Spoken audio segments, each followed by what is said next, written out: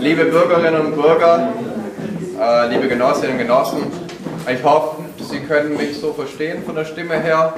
Ähm, ansonsten kann ich auch das Mikrofon benutzen. War ein kleines Zeichen, gut so, Daumen hoch. Okay, das sind, ich sehe relativ viele Daumen. Äh, dann nehme ich das mal so als Bestätigung, dass es auch ohne Mikrofon funktioniert. Wenn ich irgendwann zu leise werden soll, dann geben Sie mir doch einfach bitte Bescheid. Äh, kein Problem, das Mikrofon anzumachen oder etwas lauter zu reden, wenn es sein muss. Ähm, zu Beginn lassen Sie mich gerne ein paar Personen begrüßen, die ich ja schon im Raum gesehen habe. Also ich begrüße auf jeden Fall unseren Altbürgermeister Dr. Lang.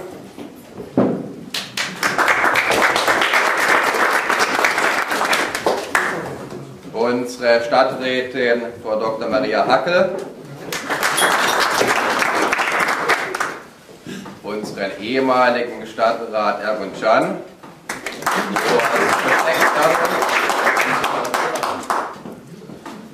Versteckt? Hier, hier. Ah ja. Äh, Bezirksbeirat Michael Köster. Bezirksbeirätin Astrid Maurer. Bezirksbeirätin Frau Laber. Unseren ehemaligen Bezirksbeirat Klaus Kartner. Und Thema Bauer vom Blick im Fernsehturm. Herzlich willkommen. Ähm, bevor ich beginne und wir quasi zum Thema Verkehr übergehen wollen, lassen Sie mich doch bitte zu Beginn noch ein paar generelle Worte zur heutigen Veranstaltung noch zu diesem Haus verlieren. Ähm, für die, die hier noch nicht waren, die Toiletten sind unten, also man muss ein Stockwerk runterlaufen. Ähm, ist allerdings nicht so, nicht so schwer, also man läuft quasi schon fast drauf zu, wenn man die Treppe hinten, die Treppe hinten runter geht. Ähm, ansonsten ist es eine, muss ich sagen, dass es eine presseöffentliche Veranstaltung ist. Das heißt, es wird heute gefilmt, bloß wir werden, wir werden natürlich auch gerne Fotos machen, die dann auf unserer Homepage und auf unserem Facebook-Kanal der SPD Degerloch äh, veröffentlicht wird. Ähm, das heißt, wenn Sie jetzt dagegen sind, dass Sie fotografiert und dann quasi im Internet auf unserer Homepage oder auf unserem Facebook-Kanal erscheinen würden, dann müsste ich Sie leider bitten, den Raum zu verlassen, weil anders ist es leider, anders ist es leider nicht möglich für uns. Also wir können nicht einzelne Personen rausretuschieren oder so. Ähm, in, der in der Geschichte ist es ja öfter mal vorgekommen, dass Personen rausretuschiert worden sind. Diese Fähigkeiten haben wir allerdings in Degerloch nicht, beziehungsweise würden auf diese Fähigkeiten gerne verzichten. Das heißt, wenn Sie hier bleiben, nehmen wir das schon als Einverständniserklärung, dass wir auch äh, Fotos veröffentlichen dürfen. Okay, ansonsten, ähm, die meisten haben es schon entdeckt, haben wir Getränke und Snacks hinten auf Spendenbasis, also äh, bedienen Sie sich gerne. Ähm, gleichzeitig, wenn ich schon bei den Getränken bin, hinten liegen auch noch ein paar Blätter aus, die Sie vielleicht gesehen haben. Das, ist, das sind einmal unsere Flyer, die Sie gerne äh, mitnehmen dürfen. Natürlich auch sehr gerne, wenn Sie wollen, das an Freunde verteilen oder Bekannte. Ein sehr gern gesehenes Geschenk. Ähm, zusätzlich haben wir hinten eine Liste ausgehängt mit einem wo Sie sich für einen Newsletter der SPD eintragen können. Also da wird alles gepostet, was wir ähm, unternehmen, neue Beschlüsse, auch alles Neue, was zum Thema Verkehr vielleicht sich in der Zukunft entwickeln wird. Wenn Sie da also auf dem Laufenden sein wollen, dann können Sie sich gerne hinten in den Newsletter eintragen. Des Weiteren liegt hinten auch eine Unterschriftenliste für den Ratentscheid, ein, äh, eine Initiative, die einen Bürgerentscheid für, ich sag mal, ähm, besseres Radfahren um es vereinfacht zu sagen, in Stuttgart ermöglichen will. Auch diese Liste finden Sie hinten. Und dann das letzte organisatorische, darf ich Sie auch noch herzlich zu zukünftigen Veranstaltungen der SPD Degeloch einladen. Nämlich die nächste Veranstaltung wäre schon bereits am 10. Oktober. ab 19 Uhr haben wir eine Veranstaltung zusammen mit den Naturfreunden Degerloch zum Thema Poema. Und wir haben noch eine Veranstaltung zum Thema, grob gesagt, Internet, digitale Stadt, Datenschutz. Diese Veranstaltung findet am 22. November um 19 Uhr statt. Beide Veranstaltungen hier in der Alten Scheuer. Also ich wiederhole nochmal, Veranstaltung Poema am 10. Oktober ab 19 Uhr und Internet, digitaler Stadt, Datenschutz 22. November auch ab 19 Uhr. Beide Veranstaltungen hier in der Alten Scheuer. Diese zweite habe ich noch gar nicht. So. Ansonsten, liebe Bürgerinnen und Bürger, lassen Sie uns noch endlich über Verkehr sprechen. Verkehr ist das Hauptproblem der Stadt Stuttgart. Die letzte Bürgerumfrage aus dem Jahr 2017 ergab, dass 75% der Befragten angegeben haben, dass Verkehr eines der Hauptprobleme der Stadt Stuttgart ist. Und unter diesen 75% sind Meldungen wie zu viele Baustellen oder zu wenig Parkmöglichkeiten noch gar nicht enthalten. Das heißt, dass drei von vier Bürgern in Stuttgart ein Verkehrsproblem sehen. Dieses Problem wurde sogar häufiger genannt als das Problem, dass die Mieten in Stuttgart zu hoch seien. Wenn auch nur minimal. Die Mieten in Stuttgart zu hoch wurde 73, mit 73 Prozent genannt. Aber Verkehr ist nicht nur ein Problem für ganz Stuttgart oder für die Stadt Stuttgart, sondern Verkehr ist auch ein Problem für Degerloch mit seiner Nähe zur B27, mit seiner Nähe zur Innenstadt zum Flughafen und der A8. Auch wir in Degerloch haben mit hohem Verkehrsaufkommen zu kämpfen. Und auch die SPD Degerloch und der Degerlocher Bezirksbeirat haben erkannt, dass sich verkehrstechnisch etwas in Stuttgart ändern muss. Und das, liebe Bürgerinnen und Bürger, ist der Titel oder das Thema unserer Veranstaltung. Wir verstehen diese Veranstaltung heute als eine Info- und Dialogveranstaltung. Das heißt, dass wir zuerst Sie informieren möchten über den aktuellen Stand im Bezirksbeirat, im Degerlocher Bezirksbeirat und danach aber auch gerne mit Ihnen diskutieren wollen über die Zukunft des Verkehrs in Degerloch. So, über was genau wollen wir Sie nun also informieren? Im ersten Teil unserer Veranstaltung wird unser Bezirksbeirat Uli Weiß das bisherige Verkehrskonzept des Degerlocher Bezirksbeirats vorstellen. Und es ist uns dann natürlich wichtig und von unserem Interesse zu betonen, welche der Punkte der SPD besonders wichtig sind. Danach wollen wir unser Konzept ich sage es mal salopp, einem Stresstest unterziehen und das auf seine Funktionalität überprüfen lassen. Dafür sind wir froh, oder wir sind froh, da, dass wir dafür Professor Dr. Ulrich Martin von der, ja, dass wir dafür Professor Dr. Ulrich Martin gewinnen konnten. Professor Martin ist Direktor des Instituts für Eisenbahn- und Verkehrswesen an der Universität Stuttgart. Herzlich willkommen. Jetzt müsste natürlich nochmal Applaus kommen. Sie waren etwas zu schnell. Das nächste Mal machen wir das mit Zeichen. Ja, war nicht so witzig. Naja, als Anschluss daran wird wir dann zum zweiten Teil zur Veranstaltung kommen, nämlich den Bürgerdialog. Hier sollen Sie, liebe Bürgerinnen und Bürger, die Möglichkeit haben, Fragen und Anregungen an uns, an unseren Bezirksbeirat oder an Professor Martin zu stellen. Ich freue mich jetzt bereits auf eine angeregte Diskussion. Das wäre es nur von mir. Ich gebe das Mikrofon an Uli Weiß, SPD-Bezirksbeirat in Degerloch weiter. Ich wünsche uns allen einen angenehmen Abend und vielen Dank.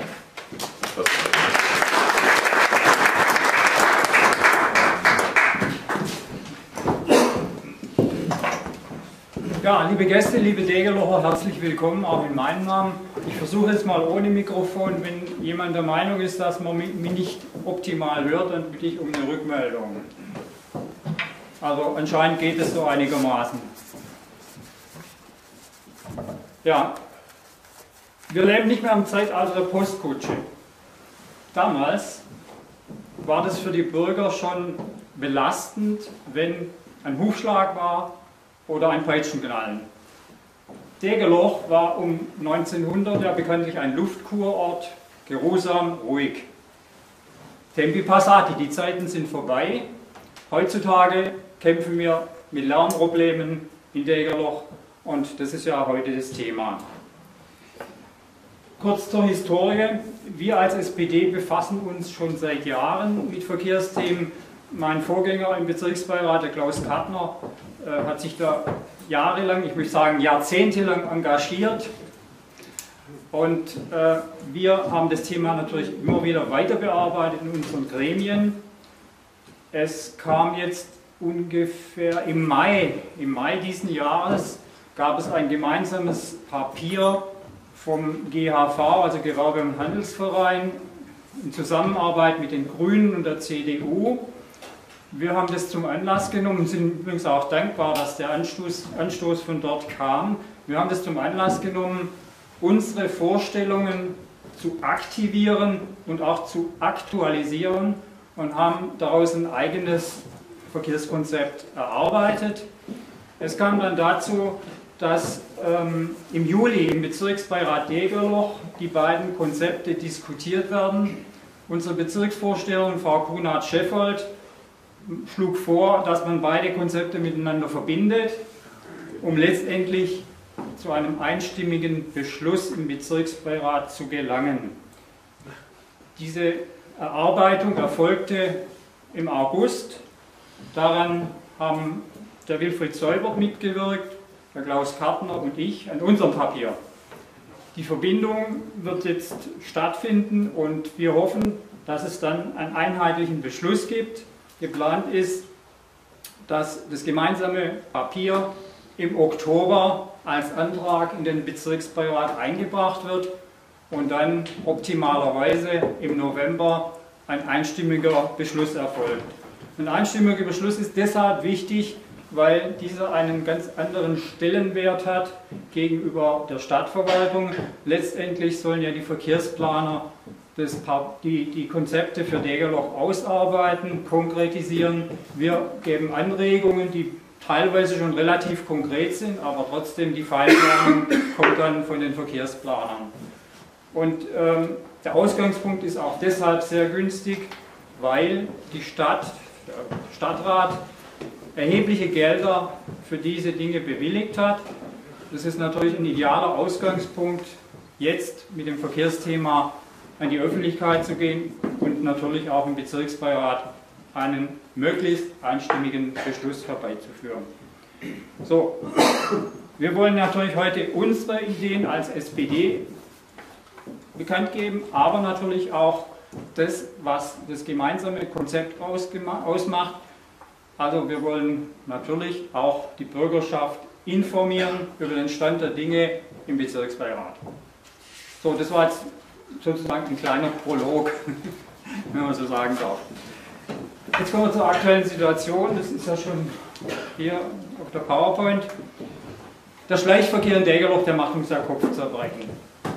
Wir leiden drunter und jeder weiß, es gibt eine sogenannte Rush Hour abends und morgens wenn, man, wenn, Sie beispielsweise an die B27 denken, wenn Sie als Autofahrer von Tübingen oder Reutlingen oder meinetwegen von der Bundesautobahn oder Echterding kommen, meinetwegen in die Stuttgarter City fahren wollen, stehen Sie in Dägerloch vor der Einfahrt vielleicht 10, 15 Minuten und äh, findige Autofahrer, die haben ihr Navi und finden natürlich Schleichwege und die Schleichwege gehen halt teilweise durch Wohngebiete und auch durchs Zentrum von Degerloch und führen zu einer erheblichen Verkehrsbelastung.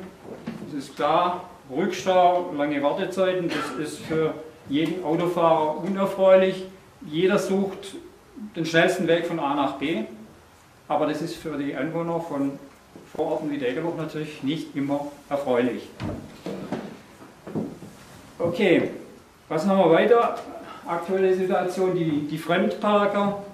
Es gibt beispielsweise im Bereich des neuen Friedhofes nicht wenige Fremdparker, die stellen ihr Auto da ab und dann gehen sie ähm, zur U-Bahn-Station und fahren mit der U-Bahn in die City. Das ist natürlich unerfreulich. Es gibt ja auch bekanntlich ein Park- und Reitparkhaus. Das wird unzureichend genutzt, sage ich mal. Und äh, für die Anwohner in der Gegend Schüttlesstraße in Neufriedhof ist es natürlich ein großes Ärgernis, wenn da viele Fremdparker sind. Was haben wir noch? Okay. Das mit den kommunalen Geldern, das, das hatte ich glaube ich vorhin schon erwähnt. Das, ja, dann kommen wir eigentlich schon zu den Zielen, denke ich mal. Also bei den Zielen will ich eigentlich nur kurz die Überschriften, die jetzt auf der PowerPoint stehen, eigentlich nur wie kurz wiederholen, weil später kommen, kommen die Details. Es geht um die Entlastung der Wohngebiete, es geht aber auch um die Aufwertung der Eblesstraße als Einkaufsstraße und äh, Aufenthaltsqualität dort zu verbessern. Es geht um die Verbesserung der Verkehrsführung auch für Fußgänger und Radfahrer. Letztendlich wollen wir, wie gerade erwähnt, auch die Fremdparker ein bisschen reduzieren. Und dann geht es noch darum, ob äh, die Wohngebiete östlich der Eblesstraße, das sind die Straßen Mittlere Straße, Karl-Pfaff-Straße, Wellstraße, Teile von der Felix-Dahn und Löwenstraße, inwiefern dort andere Verkehrsführung sinnvoll ist. Ich nenne das Beispiel mal typischerweise die Mittlere Straße, die ist stark belastet von Gegenverkehr, von oben nach unten, von unten nach oben. Wir hatten vor circa drei Jahren schon mal einen Antrag eingebracht, dass die mittlere Straße als Einbahnstraße geführt wird und zwar von oben nach unten, also sprich von der Großen Falderstraße zur äh, Karl-Pfaff-Straße. Das fanden alle, alle ganz gut, aber, aber es war der Vorschlag, man solle doch bitte warten, bis es ein Gesamtverkehrskonzept für Degerloch gibt und dann wird das Thema wieder aufgegriffen. Jetzt sind wir dabei mit dem Verkehrskonzept für Degerloch und wir hoffen, oder das ist auch Inhalt letztendlich, dass hier sich was tut in diesem Bereich. Ob da andere Straßen noch andere geführt werden können in dem östlichen Bereich, das müssen natürlich die Verkehrsplaner klären. Da können wir die Details jetzt heute nicht präsentieren. Dann geht es auch noch um das Thema Parkraummanagement. Der Bezirksbeirat hat tatsächlich vor einiger Zeit, ich weiß jetzt nicht mehr wann das war, einen Beschluss gefasst, dass im Degerloch auch Parkraummanagement eingeführt werden soll. Wir sind da noch ein bisschen kritisch, aber letztendlich muss es natürlich auch geprüft werden, ob das Sinn macht. So, das waren jetzt die Ziele. Jetzt kommen wir eigentlich schon zu den Maßnahmen. Eblestraße. Ja, danke, das Bild. Genau. Also wir stellen uns vor, dass die Eblestraße ein Boulevard wird, wo man einkaufen und flanieren kann. Es ist das Stichwort Shared Space, zu Deutsch Mischverkehrsfläche. Alle im Bezirksbeirat sind der Meinung, dass das eine gute Idee ist. Und ich glaube auch, dazu, das könnte zu einer erheblichen Aufwertung unserer Hauptverkehr, äh, Haupteinkaufsphase werden. ja, es ist dort auch viel Verkehr. Das merkt man immer, wenn man dort unterwegs ist. Ähm, was bedeutet Shared Space oder Misch Mischverkehrsfläche? Es bedeutet letztendlich, dass alle Akteure, Autofahrer, Fußgänger, Radfahrer, Busse gleichberechtigt sich auf dieser Straße fortbewegen dürfen, normalerweise mit Tempo 20 km/h. Es gibt das Beispiel in Stuttgart City, dort gibt es eine Shared Space Zone und zwar zwischen der Paulinenbrücke und dem Wilhelmsbau die Tübinger, ja, die Marienstraße, Entschuldigung. Tübinger. Tübinger. Tübinger. Ja, Tübinger, sorry. Ähm, soweit ich das überblicken kann, funktioniert das ganz gut, wurde gut angenommen und wir glauben, dass das eine richtig gute Sache wird, wenn sowas in Degerloch auch käme.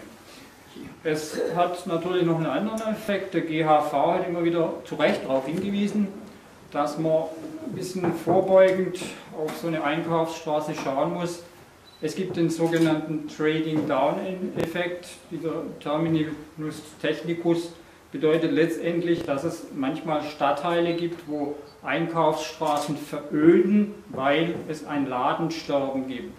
Das kann dann passieren, wenn nicht mehr genug Kunden da sind, wenn die Geschäftsraummieten vielleicht zu hoch sind, wenn auch letztendlich der Umsatz nicht mehr stimmt. Das ist, das ist etwas, was wir alle, natürlich auch der GHV, vermeiden wollen. Das ist, das jetzt aktuell scheint mir das Problem noch nicht so da zu sein, aber man muss natürlich gucken, wie wird die Zukunft. Es gibt in Stuttgart Stadtteile, die von diesem Effekt schon betroffen sind. Ich will jetzt da keine Namen nennen, aber das führt dann gelegentlich dazu, dass, es, äh, dass die, die leeren Geschäfte, dass sich dort dann ähm, ja, Billigketten, Billigimbisse oder auch Spielhallen niederlassen. Das wäre natürlich eine Katastrophe, wenn sowas entstehen würde. Das wollen wir natürlich unbedingt vermeiden.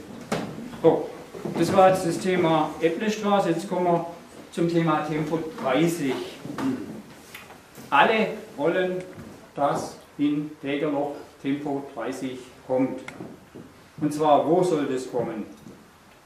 Wir als SPD hatten zunächst mal die Vorstellung, dass das ganz Degerloch sein soll, wobei muss gleich dazu sagen, ausgenommen selbstverständlich die B27 und die Jahnstraße, das sind Hauptverkehrsdurchgangsstraßen, dort kann man sowas natürlich logischerweise nicht einführen. Wir waren ursprünglich etwas der Meinung, dass vielleicht auch abgelegene Wohngebiete wie, wie Waldau, wie das Wohngebiet Heinestraße, wie Hochfeld, wie Heix mit einbezogen werden. Aber da scheint sich im Bezirksbeirat die Meinung eher durchzusetzen, dass man das beschränken soll auf den Kern, auf den Kern von Degerloch. Vielleicht können wir an der Stelle gerade mal die, diese Straßenkarte aufrufen. Warte mal, warte mal, warte mal, warte mal, Moment, Moment, du musst ein bisschen ähm, flippen hier. So. Ja. Na, ja. Mal gucken, ob das Ding da funktioniert. Also wir haben hier die Löffelstraße, okay, dann haben wir die Jahnstraße, dann haben wir die Reutlinger Straße und dann, wo, wo ist die, ist die Albstraße hier?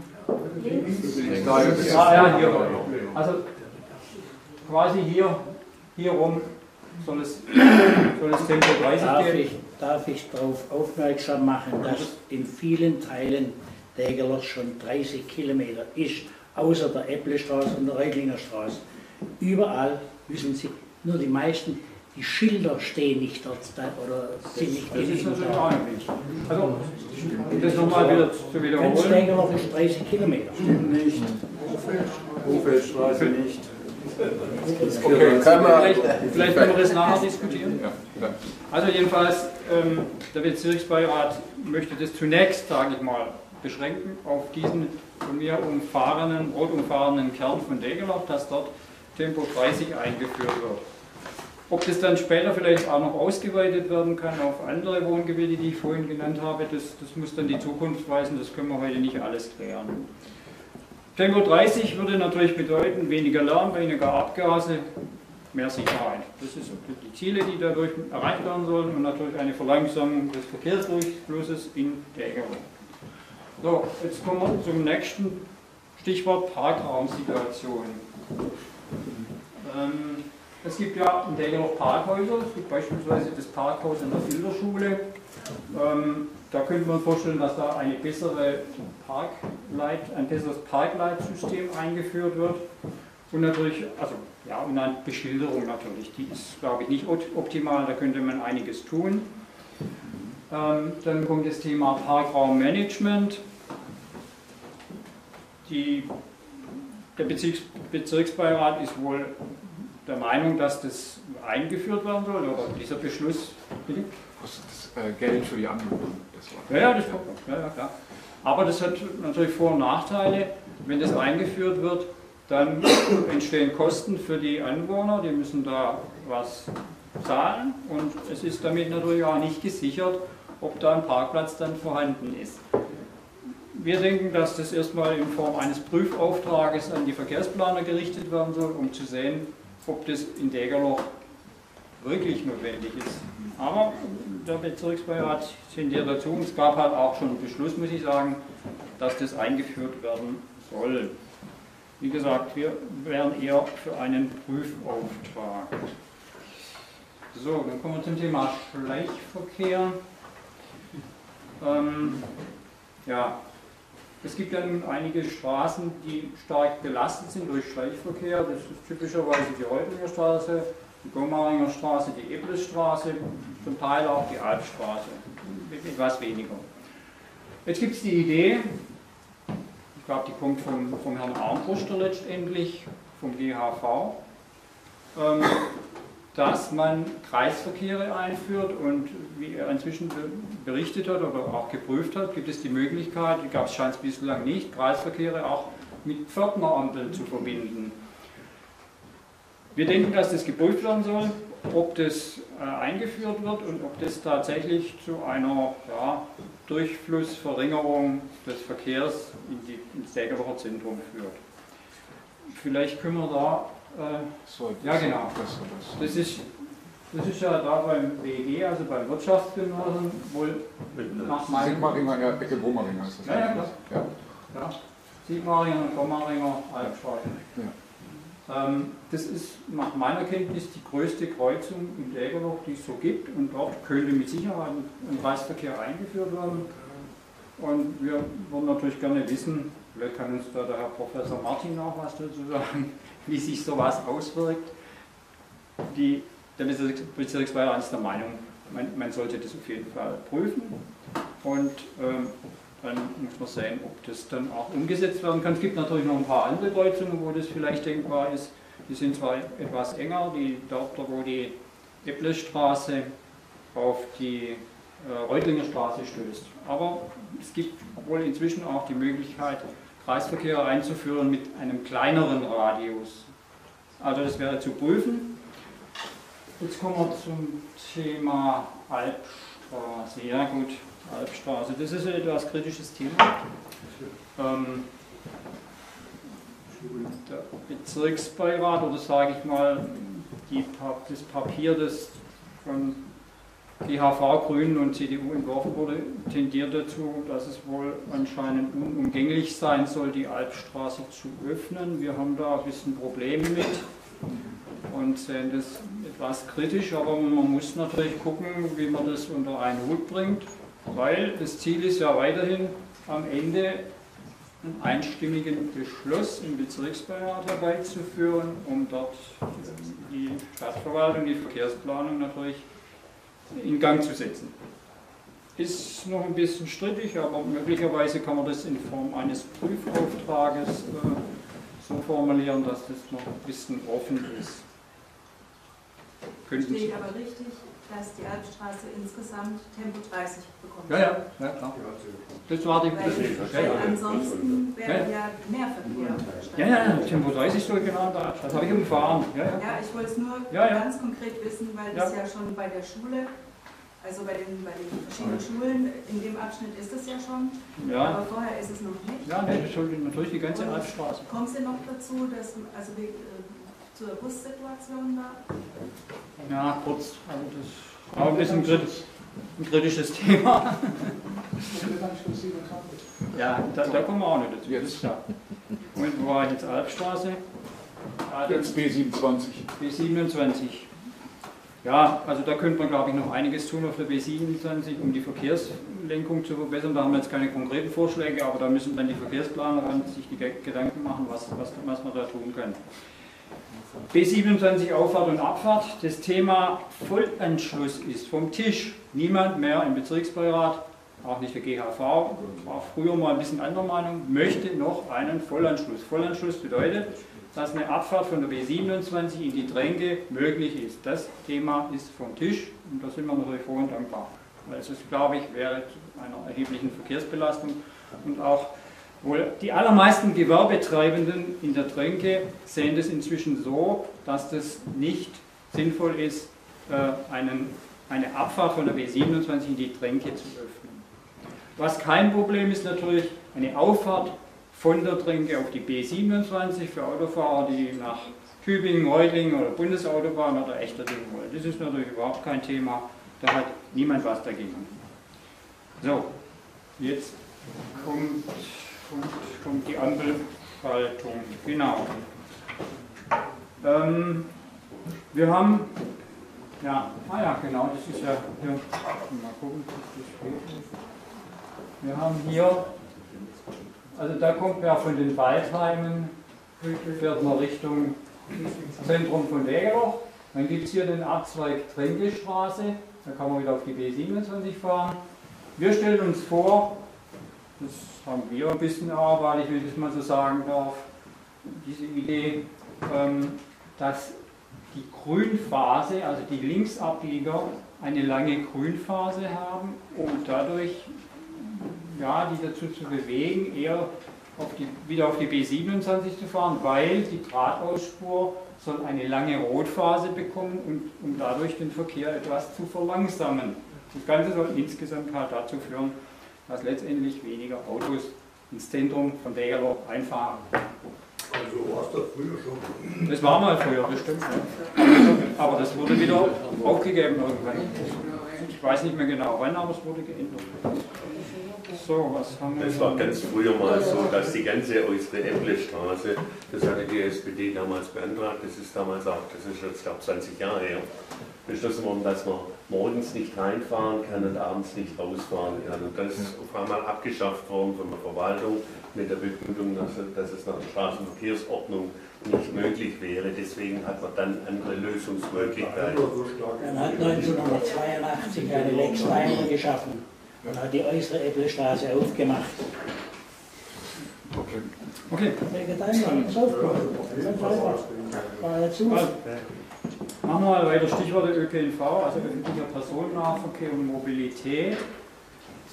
Wir möchten gerne, dass es einen festen Ortsbus gibt, der die Waldau anfährt, Hofeld anfährt zu festen Zeiten mit einem festen Fahrplan. Ich glaube, das ist dringend notwendig. Es gibt inzwischen ja einen sogenannten Flexbus oder auch genannt Bus on Demand. Das wird, wurde von der SSB eingeführt. Das bedeutet letztendlich, dass man auf dem Handy mit einer App äh, halt äh, sagen kann, hallo, ich möchte auch mit diesem Bus irgendwo hinfahren und dann holen die einen ab. Ist aber natürlich für ältere Mitbürger nicht so der Hit wahrscheinlich und außerdem es, gibt es keine festen Zeiten. Also wir glauben, dass es wichtig ist, einen Ortsbus äh, zu installieren. Dann haben wir noch das Thema Ökoterminal. Ja, das ist uns auch ganz wichtig. Ökoterminal heißt letztendlich, dass es äh, Plätze gibt, wo Ladestationen für Elektromobilität, sei es E-Bikes, sei es Elektroautos, äh, hergestellt werden, die dort äh, aufgeladen, also die Fahrzeuge aufgeladen werden können.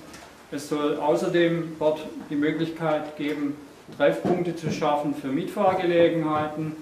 Ähm, insbesondere jüngeres Publikum ähm, führt ja gerne mal mit äh, MFG, also Mitfahrgelegenheit, was weiß ich, nach München, Frankfurt oder sonst wo. Ich kenne das von meinen Kindern. Und da gibt es ja auch so eine App, die nennt sich BlaBlaCar. Und da organisieren die das halt untereinander. Und da soll das, denke ich, wäre es gut, wenn es da einfach feste Treffpunkte gibt, die dort aber dauerhaft installiert werden. Und was haben wir hier noch? Ja, wo, wo könnte das stattfinden? Am ZOB, also am Altplatz und vielleicht aber auch am Heikst, Waldau und Hofeld. Da könnten wir uns vorstellen, dass solche Öko-Terminals eingerichtet werden. Wir denken, dass es auch wichtig ist für die Zukunft, weil es wird ja über mittelfristig darauf hinauslaufen, dass irgendwann der Verbrennungsmotor abgeschafft wird. Irgendwann, sage ich mal. Und äh, die Tendenz geht dann ja mehr zu alternativen Antriebsquellen, ob das jetzt Elektrohybrid oder weiß Gott was ist. Jedenfalls glaube ich, dass es sinnvoll ist, hier schon mal an die Zukunft zu denken. So, jetzt, ja, jetzt sind wir eigentlich schon nochmal kurz an den Hauptzielen. Also, das sind die drei Stichworte. Eblestraße soll ein schöner Boulevard werden, Mischverkehrsfläche, wo man flanieren und laufen kann. Vielleicht auch noch ein Stichwort. Es wird ja heutzutage auch ganz gerne von einem Einkaufserlebnis gesprochen, weil es gibt ja nicht, viel, nicht wenige Mitbürger, die inzwischen ihre Einkäufe nicht mehr, nicht mehr vor Ort kaufen, sondern das einfach bestellen, sich nach Hause bringen lassen. Und ja, ich glaube, die Läden müssen schon was tun, insbesondere die kleineren, ein, ähm, kleineren Läden, die inhabergeführten Läden und wenn dann die Eppelstraße so aufgewertet wird, dass das auch ein bisschen so ein Einkaufserlebnis ist, heute haben wir ja, äh, wie heißt es, Late Shopping Night oder irgendwie in Degerloch. Also in die Richtung geht es und glaube ich, das ist auch ein Anliegen vom GHV. Ja, also Ausbau der Eppelstraße als Boulevard, das finden wir eine gute Idee. Ich glaube, das finden alle eine gute Idee, auch alle im Bezirksbeirat, wenn ich das richtig sehe. Tempo 30 habe ich vorhin schon erwähnt. Das ist natürlich auch wichtig. Und dann das Thema Ökoterminal. Das waren unsere Vorschläge, das war auch jetzt meine Präsentation, da bin, bin ich am Ende und würde gerne das Wort an Herrn Professor Martin übergeben.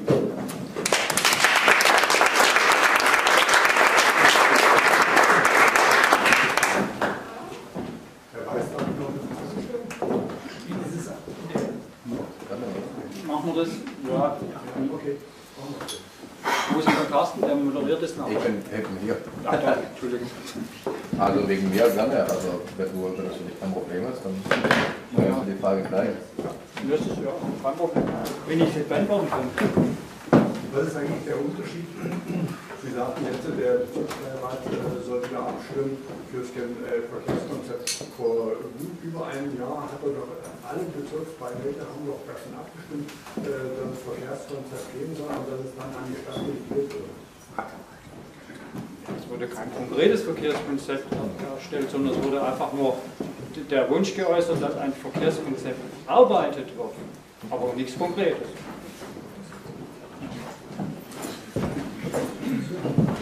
So, vielen Dank. Ja, meine Damen und Herren, zunächst möchte ich herzlich danken bei Hatter, Herrn Sieger, Herrn Baranik für die freundliche Einladung, dass ich heute Abend hier bei Ihnen mal einige Gedanken äußern darf aus meiner Sicht. Wie geht es weiter mit dem Verkehr in Degerloch? Ähm, ich möchte auch beginnen um etwas Wasser, was Ihnen in den Wein schüttet. Herr Sieger, Sie haben gesagt, der Stresstest. Äh, es war also nicht vorgesehen, äh, auch in der Vorabstimmung, dass wir jetzt ein äh, Konzept entwickeln oder ein Projekt diesbezüglich auf den Weg bringen, um die Maßnahmen, die hier vorgeschlagen wurden, auch unmittelbar zu prüfen. Das geht auf jeden Fall. Dafür gibt es auch eine ganze Reihe von Anbietern. Teil kann auch die Stadt Stuttgart selber machen, Stadtplanungsamt und so weiter. Da sind Modelle vorhanden, wo man also solche Maßnahmen dann abbilden kann und auch die unmittelbaren Wirkungen sieht. Und da ist gleich eine erste Empfehlung, es wurde ja heute schon mehrfach von Prüfaufträgen gesprochen, da sollte man sich äh, vorher natürlich dann auch äh, mal genauer anschauen, welche Wirkungen äh, solche Maßnahmen dann entfalten. Und dann möchte ich noch kurz eingehen, Sie haben verschiedene Fragen an mich gerichtet, auch in Ihrem Vortrag bereits. Äh, Tempo 30, das klingt erstmal an sich verlockend. Aber ich hatte gerade von Wirkungen gesprochen, man muss dann auch im Blick haben, äh, ohne dass ich jetzt Tempo 30 Zonen ablehne äh, dadurch, aber man muss im Blick haben, dass das dann auch für den ÖPNV gilt, das heißt konkret für den Bus. Und das könnte gerade in Stuttgart mit der schwierigen Topografie Auswirkungen auf die Busfahrzeiten haben. Da kann man sagen, ah, gut, die paar Sekunden oder Minuten, die das ausmacht, äh, ist für die Leute, die im Bus sitzen, nicht so schlimm. Aber das bedeutet auch, dass sich die Umlaufzeiten der Busse ändern. Das heißt, möglicherweise braucht man dann mehr Busse und mehr Personal für diese Busse. Kann ich jetzt nicht sagen, ob das hier der Fall ist oder nicht. Es ist nur die Anregung, dass man das nicht völlig außer, äh, aus dem Blick verlieren sollte.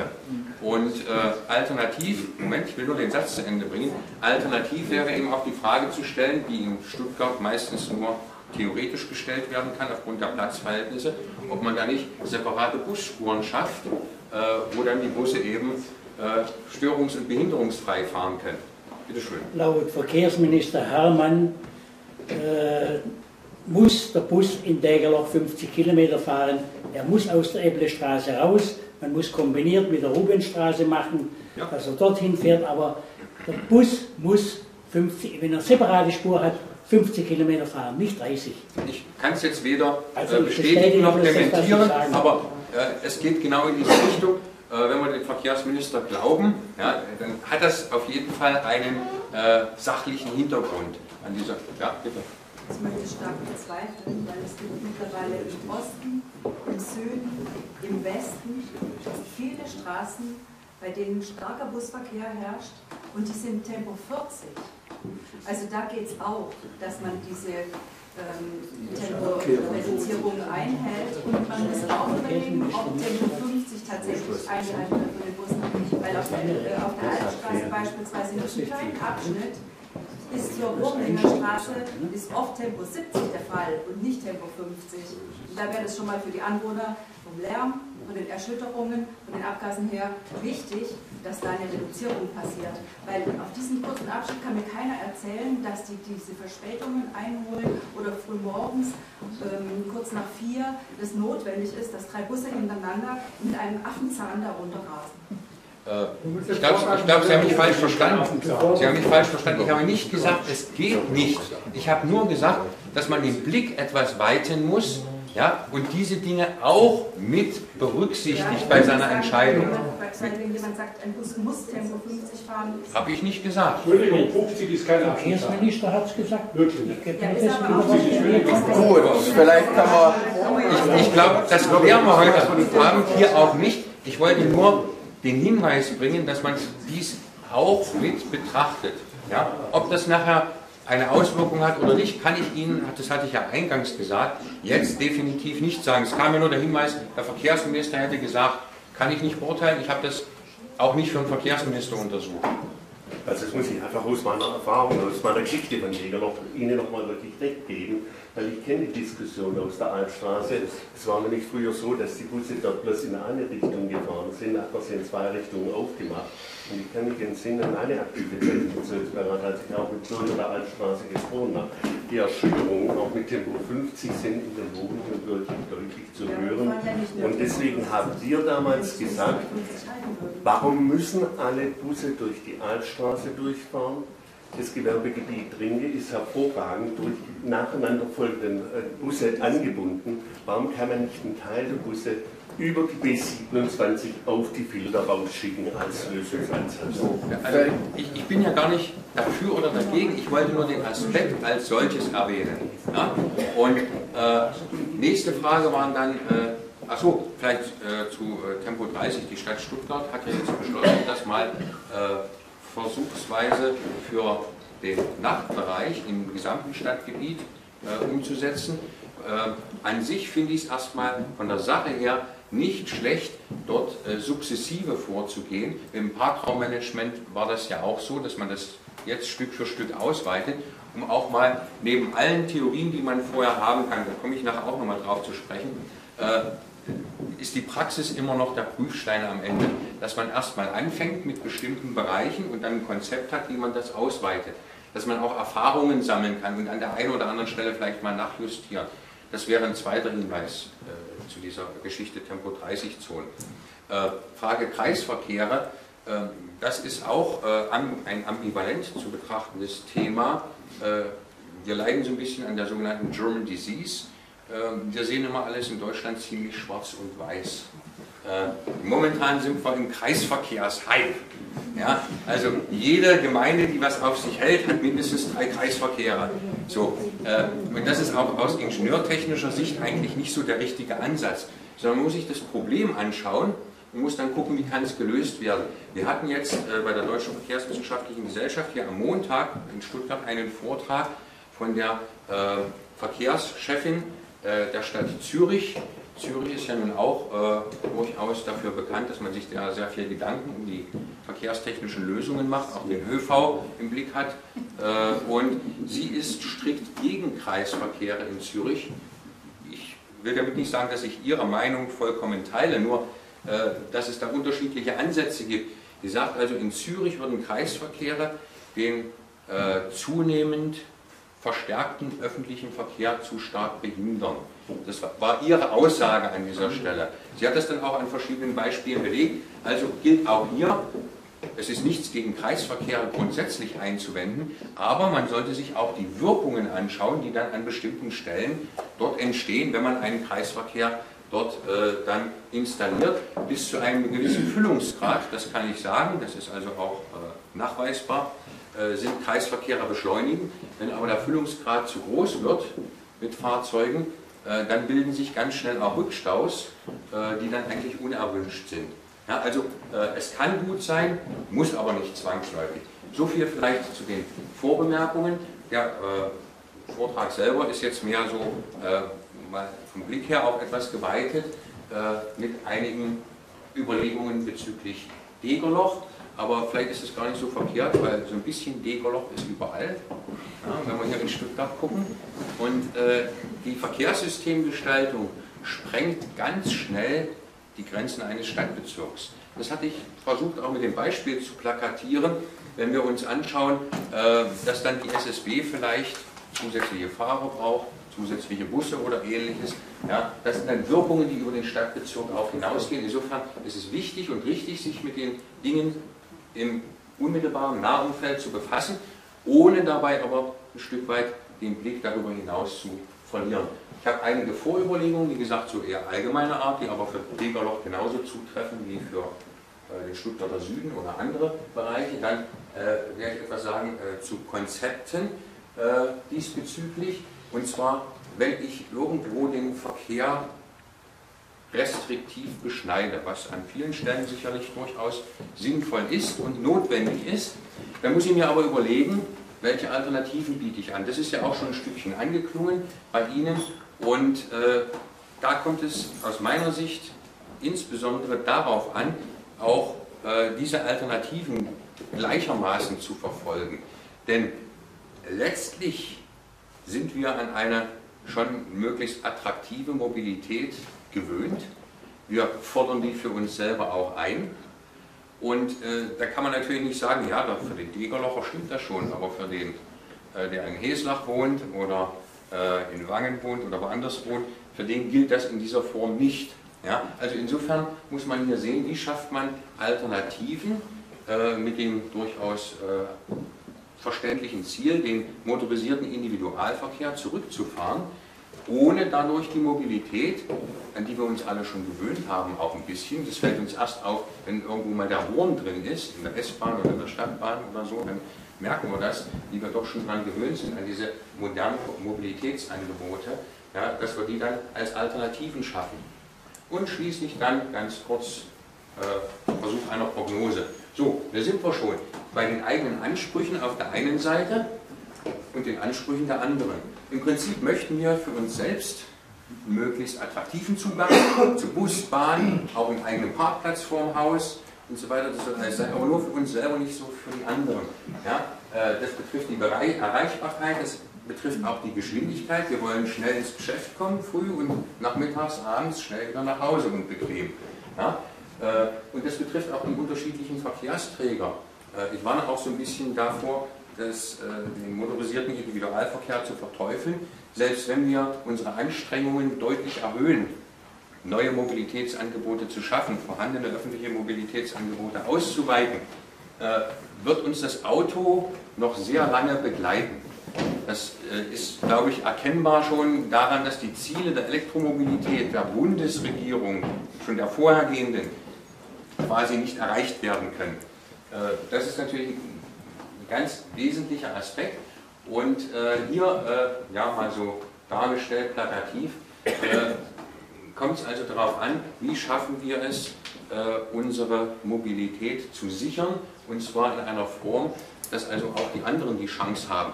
Ich möchte ein Beispiel nennen dafür. Es ist ein paar Jahre her, Frau Hackel, vielleicht wissen Sie es genauer als ich, äh, da hat man im Stuttgarter Süden äh, die Dachswaldstraße äh, in einer eigenmächtigen Aktion für den Durchgangsverkehr gesperrt. Das war eine eigenmächtige Aktion vom Bezirksbeirat seiner Zeit und über Nacht für den Durchgangsverkehr gesperrt.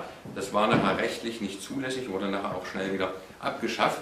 Aber äh, dort konnte man es sehr gut äh, beobachten. Die Leute, die am Dachswald wohnten, wollten den Durchgangsverkehr dort raus haben. Aber sie haben sich aufgeregt, schon unten in Heslach, dass sie dann im Stau stehen, auf der B14. Ja? Also das ist so ein bisschen die Schwierigkeit der ganzen Geschichte und die Herausforderung, die wir haben. Dann die Wirkung des Verkehrs, äh, insbesondere hinsichtlich der Emissionen, was jetzt die Akzeptanz angeht und auch die Grenzwerte. Hier äh, gibt es auch eine große Diskrepanz zwischen der subjektiven Wahrnehmung und äh, der Realität. Äh, ich habe hier mal ein Beispiel gebracht, ich habe leider nichts von Vergleichbares von Degerloch gefunden, aber vielleicht war das damals auch ganz lauschig. Das ist aus dem Jahr 1924, ist jetzt Berlin, der Potsdamer Platz sozusagen.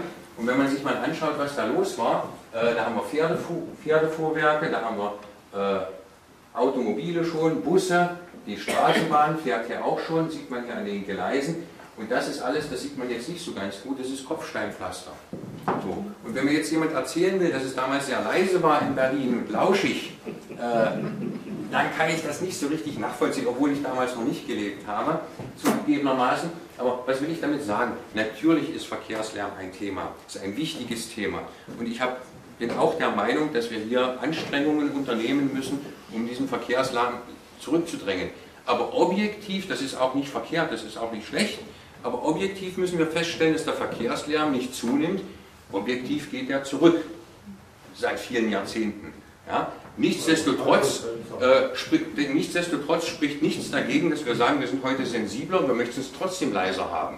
Ja? Und äh, das ist eine verständliche und äh, durchaus äh, sinnvolle Zielstellung. Bloß, ich will mal sagen, jetzt auch aus ingenieurtechnischer Sicht, ist es natürlich so, wenn der Verkehr leiser wird, dann ist durch das logarithmische Hören unseres Ohres sind 5 Dezibel etwa eine äh, Reduzierung um die Hälfte in unserer Wahrnehmung. Und wenn wir schon ziemlich weit unten sind, das noch leiser zu machen, dann müssen wir unsere Anstrengungen deutlich erhöhen. Das bedeutet mehr Aufwand und auch mehr Gehirnschmalz, neue technische Lösungen, aber äh, um das einordnen zu können, ist es, glaube ich, ganz hilfreich. Auch äh, was jetzt äh, Schadstoffe und Emissionen angeht, äh, im im Straßenverkehr, auch die haben mit Sicherheit nicht zugenommen. Äh, jetzt wurde ja festgestellt, nicht von uns, ich habe es auch noch zur Kenntnis genommen, dass die erhöhten Feinstaubmesswerte äh, im Frühjahr nicht durch den Straßenverkehr verursacht wurden, sondern durch einen starken Pollenflug. Jetzt wollen wir doch mit Sicherheit nicht dazu übergehen, Bäume und Blumen aus Stuttgart zu verbannen, um die Feinstaubwerte zu reduzieren. Auch die Höhe der Grenzwerte muss man sicherlich schauen, natürlich auch da geht es darum, äh, die sukzessive zu verringern, aber immer in einem verhältnismäßigen Maß, was auch äh, praktisch umsetzbar ist. Und zum Feinstaub, nur mal als, als Hinweis, ich will das auch nicht negativ alles äh, nur werten, sondern nur als objektiven Hinweis. am Neckartor ist ja die Feinstaubbelastung bekanntermaßen extrem hoch ja, im Straßenverkehr. Das ist also der Brennpunkt. Man spricht von Deutschland, von Stuttgart. Und in der Realität ist es aber so, dass der durchschnittliche Wert der Feinstaubbelastung in unseren Wohnungen oftmals höher ist. Das auch nur mal zu den Grenzwerten, damit man das einordnen kann. Ja, natürlich kann man sich entscheiden, das noch weiter runterzufahren. Ja, und äh, als Benchmark, ich bin da auch kein Experte, aber ich suche mir dann einen Benchmark, wo ich das einordnen kann für mich, als Benchmark muss man sehen, die Lebenserwartung an sich in Deutschland und in Stuttgart steigt ja rasant an.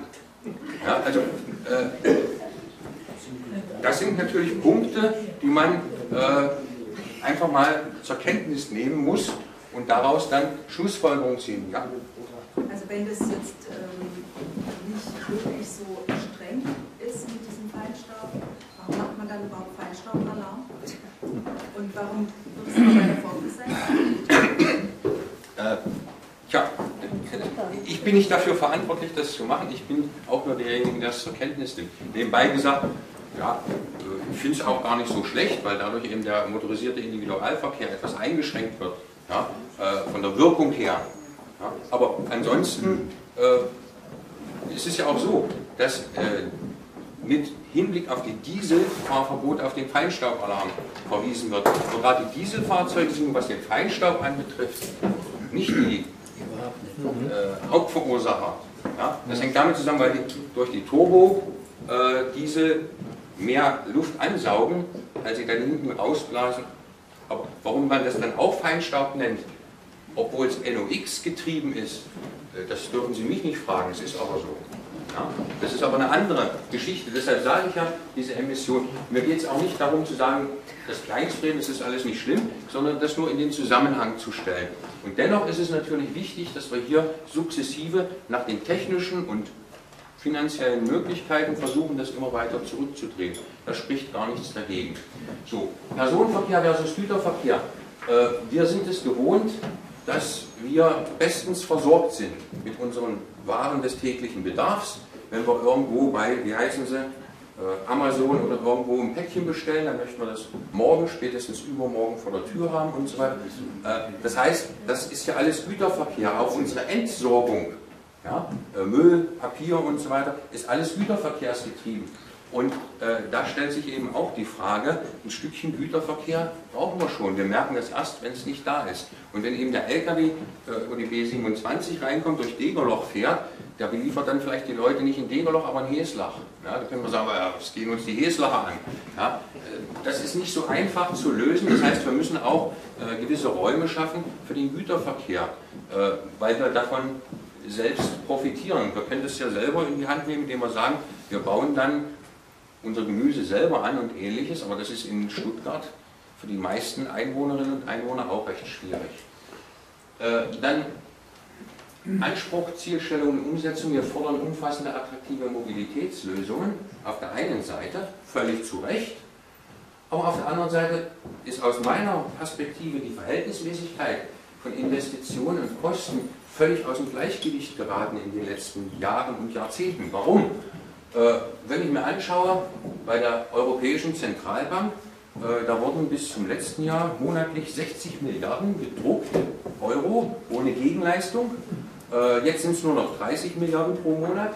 Ja, dann ein anderes Beispiel aus der Wirtschaft. Es gibt ja einen bekannten Konzern, der ist nicht aus Stuttgart, der liegt ein bisschen weiter nördlich. Der hat mit Strafzahlungen zwischen, ich glaube, 17 und 21 Milliarden Euro zu rechnen und hat trotzdem das beste Betriebsergebnis seiner gesamten Geschichte eingefahren. Ja, äh, wenn man sich diese Zahlen anschaut, die sind ja für Sie vermutlich auch hier, sage ich jetzt mal vermutlich, ich weiß es nicht, für mich auf jeden Fall sind die unfassbar, was eine Milliarde ist. Was ich, naja gut, aber die müssen auch irgendwo herkommen. Ja, aber wenn ich jetzt eine Milliarde sehe, äh, das ist für mich ein unfassbarer Betrag. Ich kann zwar die Zahlen, die Nullen aufschreiben, aber ich habe es nicht auf dem Konto, das sind keine Summen, mit denen ich so täglich umgehe. Und insofern ist es also schwierig, äh, diese Dinge auf der einen Seite zu sehen und dann auf der anderen Seite, äh, wenn es darum geht, unsere Verkehrssysteme auszubauen, egal ob jetzt Bahn oder Bus oder auch äh, der schöne Vorschlag, eine Einkaufsstraße zu machen aus der Äppelstraße, ja, verkehrsfrei. Ja, dafür sind die Mittel ja auch, das ist ja auch nicht billig, aber die stehen ja in keinem Verhältnis zu diesen anderen Summen, die so durch die Gegend geistern. Ja, also da ist eine Diskrepanz da und äh, ja, da stellt sich die Frage, wo ist die Gewichtung? So, und jetzt ist natürlich der große Punkt, ha, ist ganz einfach immer, äh, wo liegt die Ursache? Jetzt geht es dann immer ins Politikbashing. Die Politik muss ja mal, da sind wir ja heute am richtigen Ort hier, ne? das betrifft aber alle Parteien gleichermaßen. Aber ich sage, nein, eigentlich, wieso immer Politikbashing?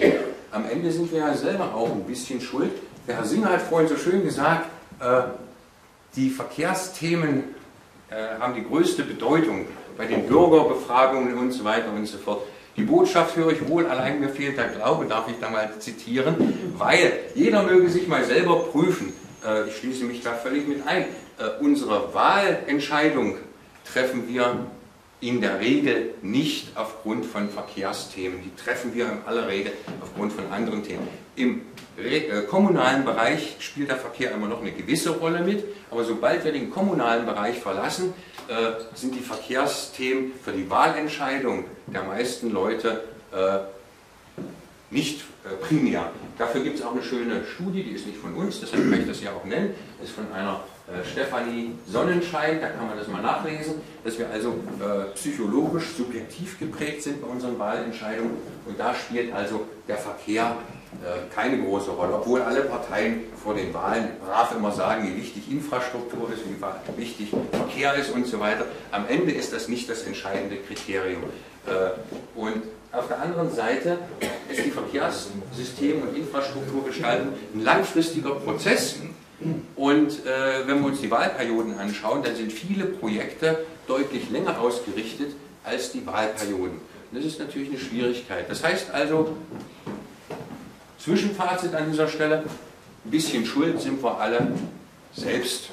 Ja, wenn wir die Verkehrsthemen selbst als so wichtig empfinden würden und unser Wahlverhalten danach ausrichten würden, dann würden auch die Parteien da anders sicherlich äh, Druck machen an diesen Stellen, in den unterschiedlichen Ebenen.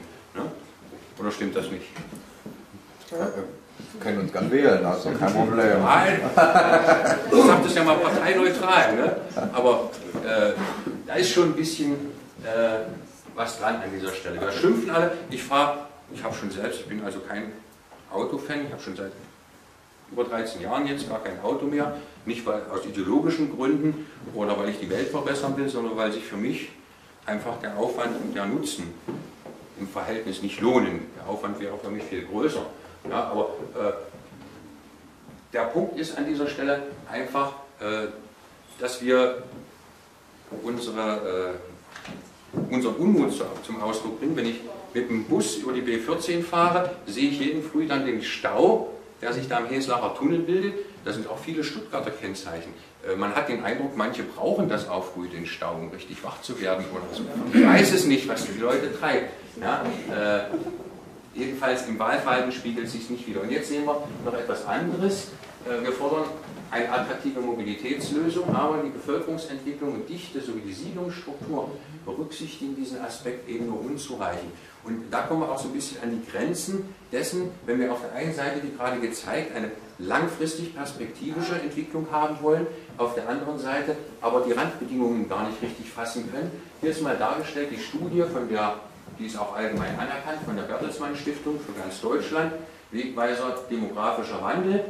Und äh, hier links aufgetragen die Einwohnerzahl von Stuttgart von 1990 bis zum Jahr 2030.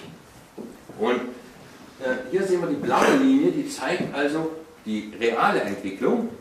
Dann sehen wir die rote Linie, das ist Stand 2006, da ist man noch von einem Rückgang der Bevölkerung in Stuttgart ausgegangen. Ja, dann wurde die Studie äh, korrigiert, 2009 Dort wurde dann ein leichter Anstieg schon vorausgesehen. Und dann gab es eine weitere Korrektur 2015, gelb dargestellt. Hier sieht man schon einen deutlichen Anstieg. Äh, und die Realität, wenn wir uns das anschauen, hat das schon lange überholt. Das heißt, Stuttgart wächst momentan viel schneller, als das ursprünglich prognostiziert wurde. Bei der Verkehrssystemgestaltung können wir ja nichts anderes machen, als auf diese Prognosen zurückzugreifen. Ja, das ist eben das, was wir haben. Was Besseres haben wir nicht. Und das bedeutet aber, wenn wir einen solchen Anstieg haben, dass also der Binnenverkehr in Stuttgart auch eine immer wichtigere Rolle spielen wird. Und das müssen wir berücksichtigen in der Verkehrssystemgestaltung. Sind eben immer, das werden wir nachher auch sehen, äh, gar nicht äh, vom Trend her äh, die Leute, die von außen kommen, die uns das Leben verkehrsmäßig schwer machen, sondern es sind zunehmend wir Stuttgarter selbst hier. Und äh, dann müssen wir eben auch im Blick behalten, dass die Mobilität ein verfassungsgemäßes Grundrecht für jeden darstellt. Das heißt, auch für jeden, der nach Stuttgart neu kommt, gelten die gleichen äh, Rechte, äh, mobilitätsbezogen, wie für alle Alteingesessenen. Man kann jetzt nicht sagen, ich wohne ja schon in der dritten Generation, ich brauche freie Fahrt und die neu dazukommen, die sollen mit dem Bus fahren oder so. Ja, das geht nicht. Also müssen wir das auch berücksichtigen. So, und um das nochmal darzustellen, das sind jetzt Zahlen, offizielle Zahlen von der Landeshauptstadt Stuttgart. Äh, ich zweifle die erstmal nicht an, ich nehme die als verbindlich. Äh, und dann sehen wir also, dass diese künftige Entwicklung auf ziemlich volatilen Prognosen beruht. Hier auf der einen Seite die Markungsgrenze in der hellgrünen Linie dargestellt. Hier sehen wir einen stark zunehmenden Trend der Kraftfahrzeuge und dann wird immer noch extra erhoben der Kesselrand. Das ist diese grüne Linie. Und das wird hier von 1980 bis, äh, bis äh, 2016, das sind die letzten Zahlen, die es aktuell gibt, die 17er kommen demnächst, äh, erkennbar. Und äh, hier sehen wir also, dass am Kesselrand, und das ist ja für Degerloch entscheidend, weil äh, der größte äh, Eintrag im Verkehr kommt über Degerloch, ja, hier haben wir einen tendenziell rückläufigen Trend am Kesselrand. Das sind also Dinge, die man bei der Verkehrssystemgestaltung mit berücksichtigen muss.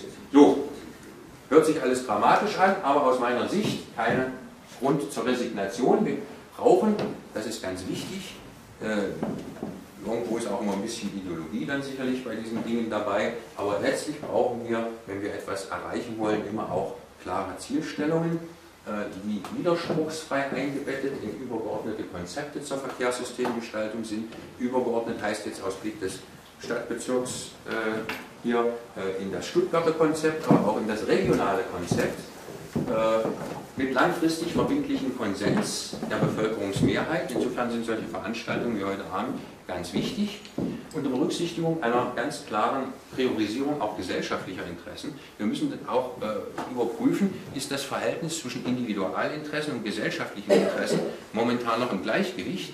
Ja, ich muss auch ein bisschen zurückstecken können. Ja, ich wohne, vielleicht ist das schon so indirekt rausgekommen, ich wohne in Heslach, aber ich muss auch ein bisschen zurückstecken können, damit der Degerlocher sich gut in Stuttgart bewegen kann und so weiter. Äh, und was auch wichtig ist, aus meiner Sicht, eine klare Resultatsverantwortung der Entscheidungsträger. Was nicht immer ganz einfach ist, weil diejenigen, die etwas angestoßen haben, dann gar nicht mehr in den Würden sind, wenn das mal realisiert wird oder so. Aber bei manchen Sachen äh, können wir uns da doch noch verbessern. Jetzt zu den lokalen Konzepten. Ähm, wenn wir den Verkehr, den motorisierten Individualverkehr reduzieren wollen, dann müssen wir gleichzeitig dafür kämpfen, wenn unter der Bedingung, die ich genannt hatte, dass wir unsere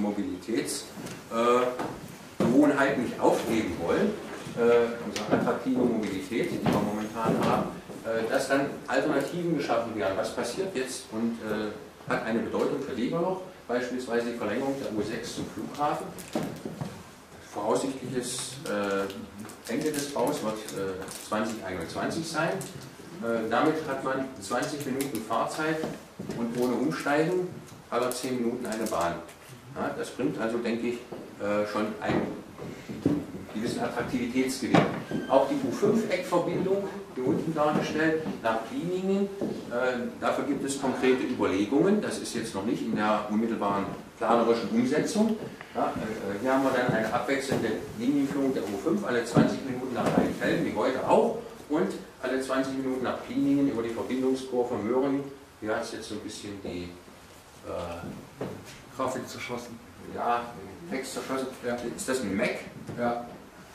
Ich habe es auf dem Windows-Rechner gemacht. Das ist aber mit dem PowerPoint. Ist aber egal, man sieht es genau. trotzdem. Bei der Verbindungskurve zwischen äh, Möhringen und den Haltestellen äh, Riedsee und Sigmaringer Straße, hier ist dann beispielsweise ein erwarteter Nutzen von ca. 2000 zusätzlichen ÖV-Fahrten pro Tag. Bezogen auf die gesamten Fahrten, Individualverkehr in Stuttgart, ist das eben nicht viel. Der Aufwand ist groß, die Kosten sind vergleichsweise auch hoch, aber wir müssen eben sehen, dass wir Stück für Stück äh, hier solche Lösungen konzipieren, damit wir eben der Entwicklung nicht immer hinterherrennen. Und das ist so ein bisschen auch der Punkt. In, äh, die äh, Entwicklung des öffentlichen Verkehrssystems rennen wir der Entwicklung viel zu stark hinterher. Wir müssen dazu übergehen, dass wir also auch hier äh, etwas stärker in die Vorderhand kommen und solche Projekte eben auch schneller umsetzen. Dann die U8-Verdichtung, die geplant ist, im Abschnitt Feingen-Heumaden auf 10 Minuten und äh, zusätzliches Fahrtangebot an den äh, Samstagen. Die U8-Verlängerung nach Feingen-West äh, ist geplant und möglicherweise dann sogar weiter, wie hier dargestellt, bis Büsnau. Auch hier dann etwa 2100 zusätzliche ÖV-Fahrten pro Tag. Äh, diese Anzahl der Verkehrsverlagerungen, die geht ja auch in die Bewertung nachher solcher Konzepte ein, unmittelbar. Und hier kommt uns diese äh, Unsicherheit in der Prognose etwas entgegen. Wir machen sehr viel solche Bewertungen auch und äh, es ist ja auf der anderen Seite immer schön dann für uns, ein bisschen Bestätigung bekommen. Äh, diese Zahlen, die sind immer äh, deutlich zu niedrig, die wir hier ausrechnen, weil eben die Prognosen dann überholt werden und mehr Leute nach Stuttgart kommen, nach Stuttgart ziehen und so weiter und so fort. Also sind das äh, auf jeden Fall seriöse, belastbare Werte. Es wird eher mehr werden dann. So, dann Zahnradbahn wurde vorhin schon angesprochen. Auch hier soll ein längerer Betrieb äh, mit Ausweitung der Betriebszeiten nach der Modernisierung erfolgen. Hat auch unmittelbare Wirkung dann für Degerloch, erhöht die Attraktivität des öffentlichen Verkehrsangebots im Stadtbezirk und auch die Ausweitung des Nachtbusverkehrs. Äh, das hat, auch wenn das nicht so viele Fahrten sind, die Busse sind immer gut belegt, wenn man da mal schaut, äh, das wird gut angenommen, das sind nicht viele Fahrten, die durch den Nachtbusverkehr hier äh, abgefangen werden, aber der Nachtbusverkehr hat noch eine Sekundärwirkung, nämlich wenn ich mich entscheide, äh, komplett aufs Auto zu verzichten, dann erwarte ich, dass ich auch für alle anderen Aktivitäten, die ich mal so außerhalb der Hauptverkehrszeiten durchführe, den öffentlichen Verkehr nutzen kann. Ja, wenn ich noch abends ins Theater, in die Oper gehe. Die jungen Leute gehen in die Disco, aber auch wieder in die Oper habe ich festgestellt, äh, erfreulicherweise. Dann möchte ich da auch noch irgendwie äh, außerhalb des Stuttgarter Stadtzentrums äh, mit dem ÖV meine Ziele erreichen können. Also insofern äh, darf man diese Sekundärwirkung des Nachtbusverkehrs auch nicht unterschätzen. Und dann haben wir die äh, U5, U3 als neue Stadtbahnstrecke Degerloch-Pliningen. Auch hier äh, gibt es schon vertiefte Untersuchungen, weil hier dargestellt Degerloch dann über Hochfeld bis nach Pliningen runter. Und äh, hier hat man dann einen erwarteten Nutzen von immerhin 3600 zusätzlichen Fahrten im öffentlichen Verkehr pro Tag. Regionale Konzepte, ja, weil äh, auch das spielt eine Rolle. Es wurde, glaube ich, von Ihnen schon kurz angesprochen. Gar nicht so schlecht. Äh, eine Stadtbahn zu bauen ist immer attraktiv und schön auf der einen Seite, auf der anderen Seite äh, ziemlich aufwendig. Eine Buslinie hat man relativ einfach eingerichtet und die Busse können eigentlich eine ganze Menge leisten. Ich habe einen Kollegen aus Zürich, leider ist er jetzt verstorben, äh, der dort an der Eidgenössischen Technischen Hochschule war, und er hat gesagt, er versteht die Leute nicht. Das ist auch stark subjektiv geprägt. Alle möchten immer gerne Schienenverkehrsanbindung haben. Er hat einen Kompromiss vorgeschlagen, er hat gesagt, da wo es sich nicht lohnt mit einer Schienenverkehrsverbindung, aber ein Bus attraktiv sein könnte, da malen wir die Schienen auf die Straße und dann fährt der Bus da an. Aber das Problem gelöst. Ja, also, äh, auch das ist interessant. Bloß, wenn das so ist, äh, dann muss man A dafür sorgen, dass der Bus da nicht im Stau steht, dann habe ich nämlich nicht viel gekonnt. Und B, das ist so ein bisschen Kritik jetzt, das habe ich denen aber auch schon selbst gesagt, der Verband Region Stuttgart ist ja dafür mit zuständig. Äh, viele Leute wissen gar nicht, dass es das gibt. Also das Marketingkonzept zur Einführung des Reflexbusses äh, ist leicht verbesserungsbedürftig, sage ich mal vorsichtig. Es wird ja alles mitgeschnitten, muss ich aufpassen, was ich hier sage heute Abend. Aber, Suboptimal, Herr Professor. Genau, danke, Frage, perfekt, jawohl. Also auch an, an diesen Stellen kann man durchaus was machen, wobei ich sagen muss, hier auch ein großes Lob. Ähm, im Kontext sämtlicher äh, Nahverkehrsunternehmen spielt hier unsere SSB auch eine hervorragende Rolle. Die haben also ein sehr gutes Marketing, sei es jetzt über die Werbetafeln oder so, was da so läuft. Das ist schon ganz in Ordnung, aber an manchen Stellen haben wir ja auch noch ein bisschen Verbesserungsbedarf. Untersuchungen werden äh, jetzt durchgeführt. Es gibt äh, konkrete Überlegungen bei der SSB, äh, X5 einzuführen für der Stadt Bohlanden-Degerloch und weitere Untersuchungen beschäftigen sich dann mit einer Verbindung Degerloch-Tübingen, Degerloch-Reutlingen und äh, das würde dann den Kesselrand, den Eintragsverkehr am Kesselrand auch wieder etwas entlasten. Das sieht man da nicht, der Stau wird auch nicht verschwunden sein, das ist klar. Aber das sind Maßnahmen, äh, die in die richtige Richtung gehen und Ihr Konzept hier dann auch ein Stück weit unterstützen würden. So, dann gibt es die überregionalen Konzepte ganz kurz. Regionalbahnhof in Feigen, das wird nochmal ein Riesenaufwand werden, die Anbindung äh, an die Regionalverkehrszüge Richtung Horb und äh, dann die Interimsphase bis zur Fertigstellung des äh, PFA 1-3B, das hört sich hier so niedlich an, das ist oben die äh, Bahnverbindung zum Flughafen, äh, Enthalt für alle regionalen Fernzüge der Gäubahn. Das ist natürlich ein Riesending, was da noch auf uns zukommt. Und auch hier müssen wir sehen, dass wir das über den öffentlichen Verkehr möglichst gut abfangen können. Dann der Filterbahnhof bis Ende der äh, 2020er Jahre, ja, man weiß es jetzt noch nicht so genau, das zeigt eben aber auch diese Langfristigkeit der Verkehrskonzepte, wo dann Nürnberg, Zürich, Salzburg, Frankfurt und so weiter bedient werden und fünf Regionalverkehrslinien, äh, die natürlich dann auch Leute animieren, von außerhalb äh, mit dem Zug nach Stuttgart zu kommen. Und wenn man sich jetzt mal die Züge anschaut, schon allein die S-Bahn, auch die Regionalzüge, die sind eben auch schon proppenvoll. Es reicht heute nicht aus zu sagen, ich lasse das Auto stehen und fahre mal mit dem Zug. Ich will jetzt gar nicht von der Pünktlichkeit sprechen, das ist noch ein, ein anderes Thema, dass die Qualität auch stimmen muss.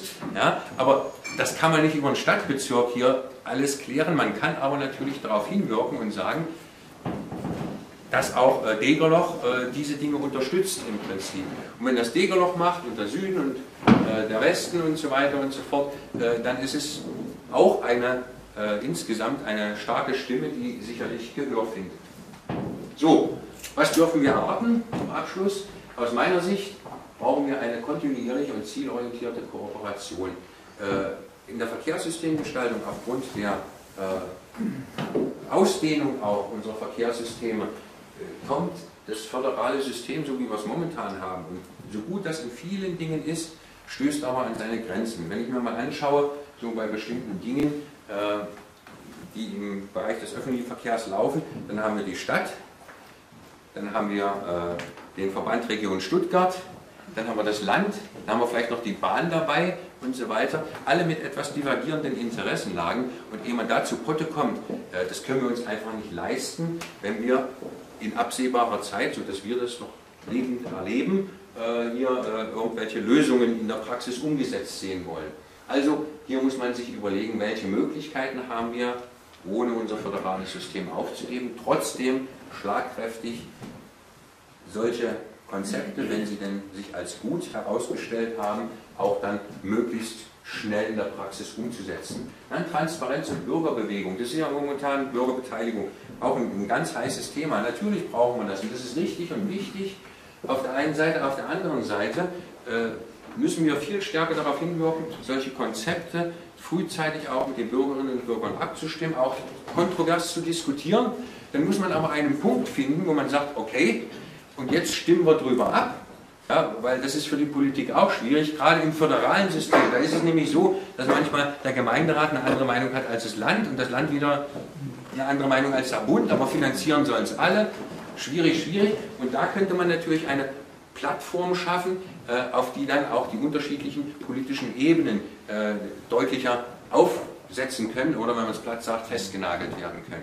Und wenn dann so ein Konsens da ist und auch durch eine zum Beispiel Volksabstimmung oder Bürgerentscheid, wie auch immer, vom juristischen her muss das ja auch passen, dann äh, vorliegt, dann muss man sich aber auch dran halten, muss die Konsequenz haben, jetzt ziehen wir das mal durch. Also wenn man sich Stuttgart so anschaut, äh, ich bin kein geborener Stuttgarter, hört man vielleicht auch an meiner Aussprache. Ich finde Stuttgart extrem interessant, aber auf der anderen Seite, Stuttgart ist auch immer ein Beispiel der unvollendeten Konzepte. Ja, man hatte mal ein Konzept und ehe man es vollständig umgesetzt hat, hat man gesagt, ach nö, das war es dann doch nicht und hat wieder was anderes angefangen. Wenn man auch immer was anfängt, ohne was fertigzustellen, ist es natürlich auch äh, nicht so sehr zielführend. Und schließlich ein Punkt, die Angemessenheit der Rechtsmittel. Das geht so ein bisschen auch in die äh, Richtung, die ich vorhin erwähnt hatte. Ähm, es muss ein Ausgleich da sein zwischen gesellschaftlichen und individualen Interessen. Wir haben in den letzten Jahrzehnten eine Entwicklung äh, beobachten können, die, was die Verkehrssystemgestaltung angeht, in die falsche Richtung geht. Das heißt, sowohl EU-seitig als auch äh, im, im Bundesrecht haben wir eine Ausweitung der Betroffenheiten, eine Ausdehnung der formalen Fristen und äh, da ist die gesellschaftliche Verhältnismäßigkeit aus meiner Sicht auch gestört. Wenn jeder gegen alles klagen kann, beliebig lange, dann, egal wie das Konzept aussieht, kriegen wir kein entsprechendes äh, Konzept jemals umgesetzt. Ja, also auch hier muss man sehen, was wollen wir eigentlich. Und letztlich geht es doch darum, Konzepte schneller und kostengünstiger umzusetzen. So, und bis 2025, 2030 wird bei derzeit, aus derzeitiger Sicht, bei weiterem Anstieg der Bevölkerung des Verkehrs eine nur leichte Veränderung des Modalsplits zugunsten des ÖV stattfinden, muss man realistisch sagen. Äh, so, wenn wir es einfach laissez-faire so laufen lassen, wie es jetzt läuft.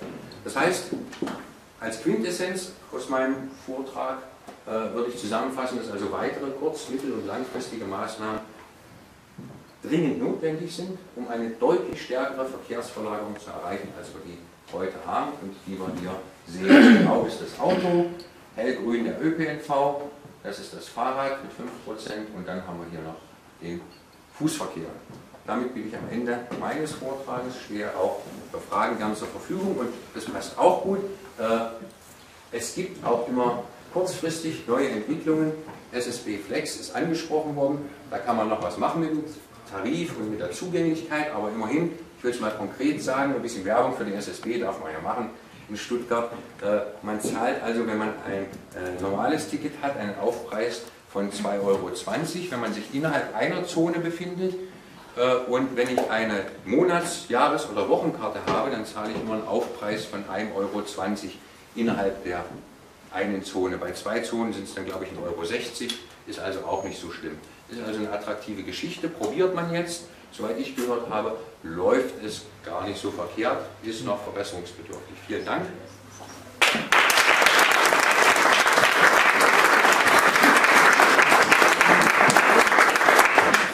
Ja, ähm, gibt es jetzt zu diesem Vortrag direkt Fragen? Ja, eine sehe ich da noch mal. Also, ja. also erstmal vielen Dank für den Vortrag. Ich habe wieder viel gelernt heute Abend. Ähm, die Untersuchung, die Sie gemacht haben, gibt es hier auch für Stuttgart für Radverkehr? Wel welche Untersuchung meinen Sie jetzt? Oder die, die, die Bewertung von den Maßnahmen, was möglich ist. Es war jetzt sehr viel ÖPNV, was kann man machen? Gibt es solche Sachen, Zahlen, Daten, Fakten auch für Radverkehr in Stuttgart? Es gibt Untersuchungen für Nachtverkehr, ja. Radverkehr. Ach, Fahrradverkehr. Entschuldigung. Für den Fahrradverkehr. Ja, äh, gibt es auch nicht von uns, aber es gibt auch Untersuchungen zum Radverkehr, ja. Wollen Sie noch was dazu hören, oder? Also es hätte mich interessiert, wenn Sie jetzt... Ja, ich kann Ihnen dazu was sagen. Ich bin mit den Ergebnissen der Untersuchungen an dieser Stelle auch nicht so ganz einverstanden, ähm, was den Radverkehr anbetrifft. Die Zahlen und so weiter, das stimmt schon. Aber auch hier ist aus meiner Sicht zu kurz gesprungen. Ich weiß jetzt nicht, wer von Ihnen intensiver ÖPNV-Nutzer ist.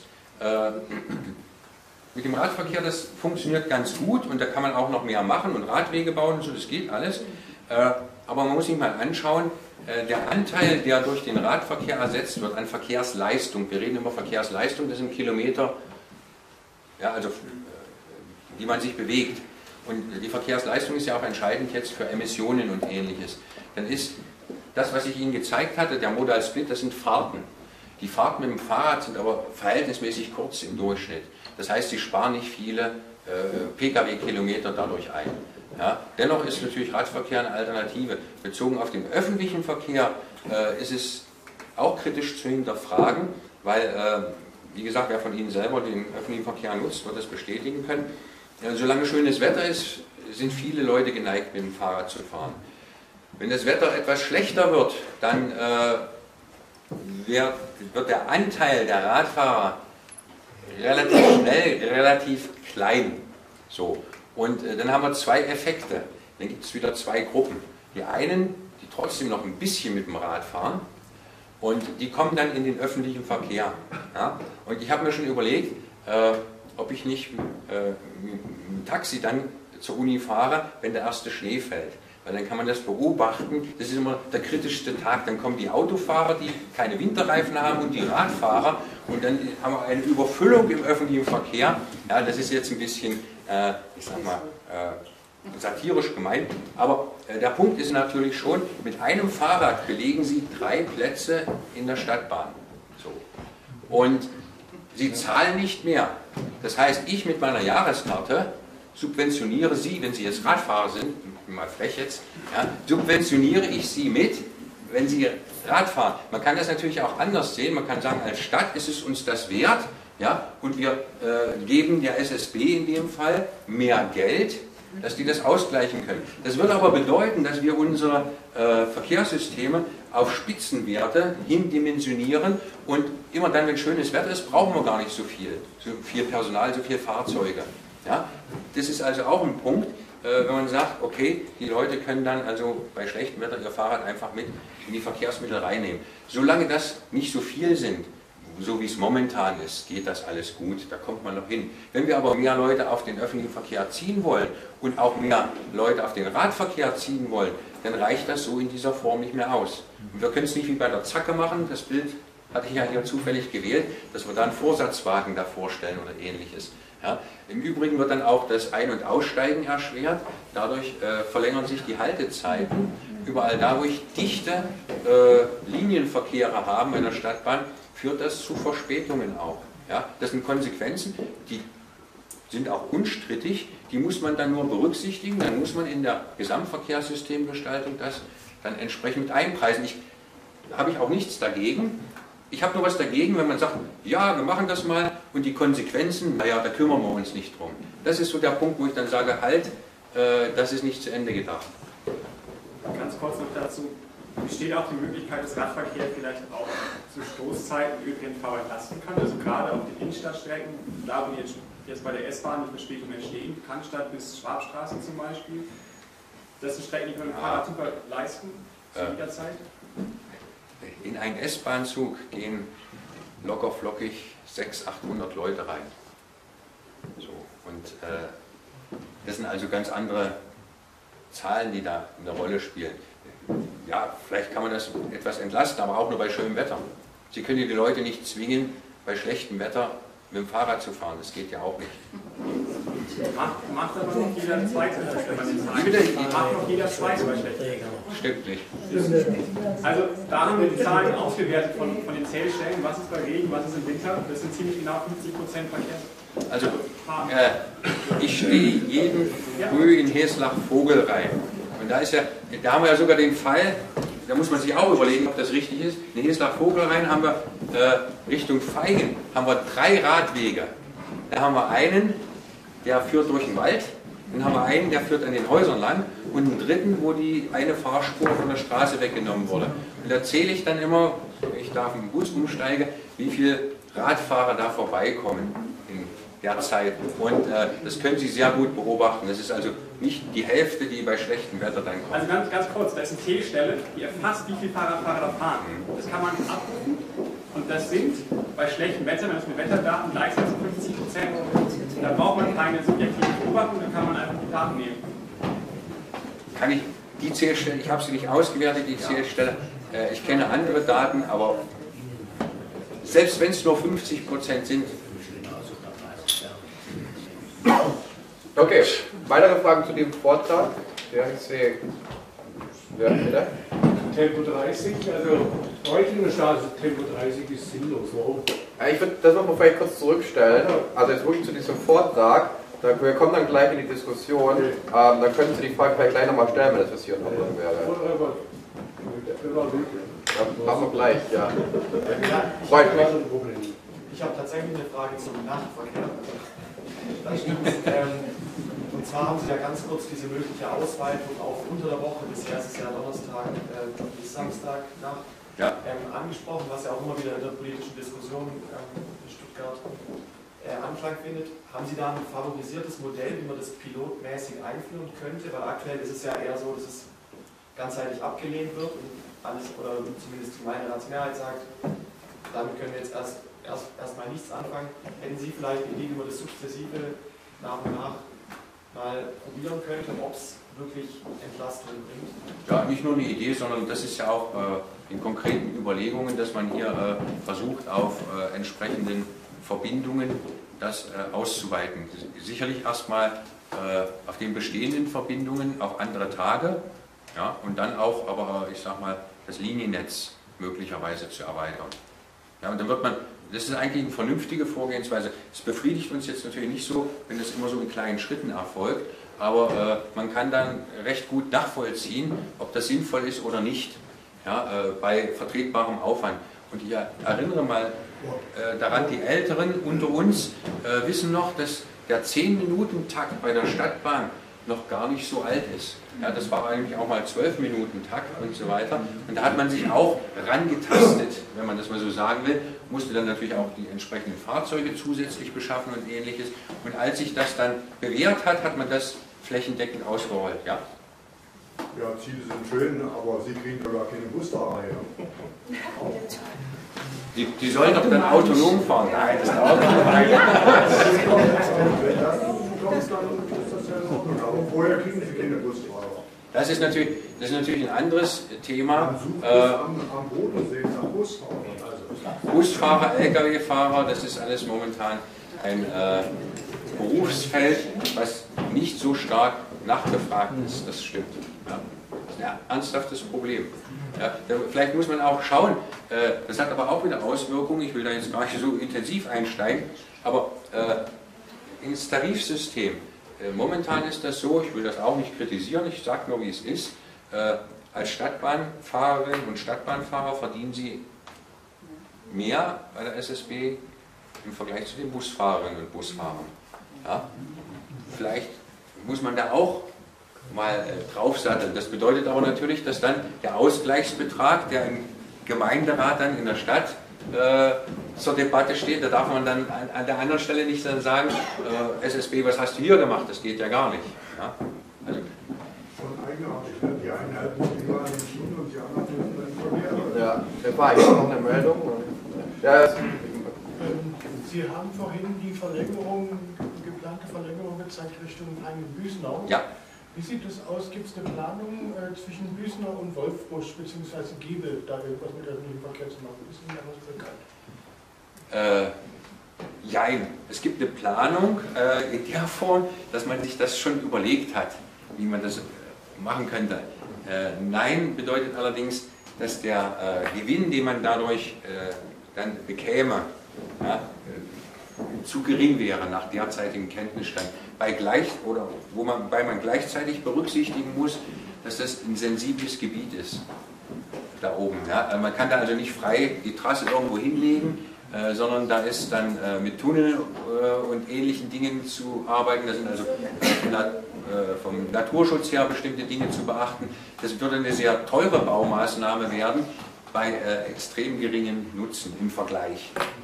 Mir ist da eingefallen, dann könnt ihr eine Buslinie da langlaufen lassen, über die Wildparkstadt zur Solitude und von der Solitude eine Seilbahn bauen bis Wolfbusch.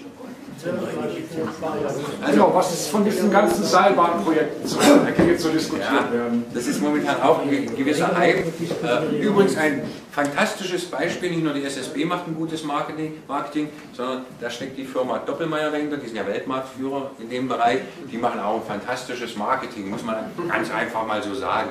Ja, und äh, die sind da extrem gut unterwegs. Man muss auch die Frage dann stellen, ich will das auch nicht die Seilbahn von vornherein ablehnen. Wir sind selber da auch in bestimmten äh, Untersuchungen mit involviert. Ist ja auch die Überlegung, das Eiermann-Areal äh, dort anzuschließen und ähnliche Dinge.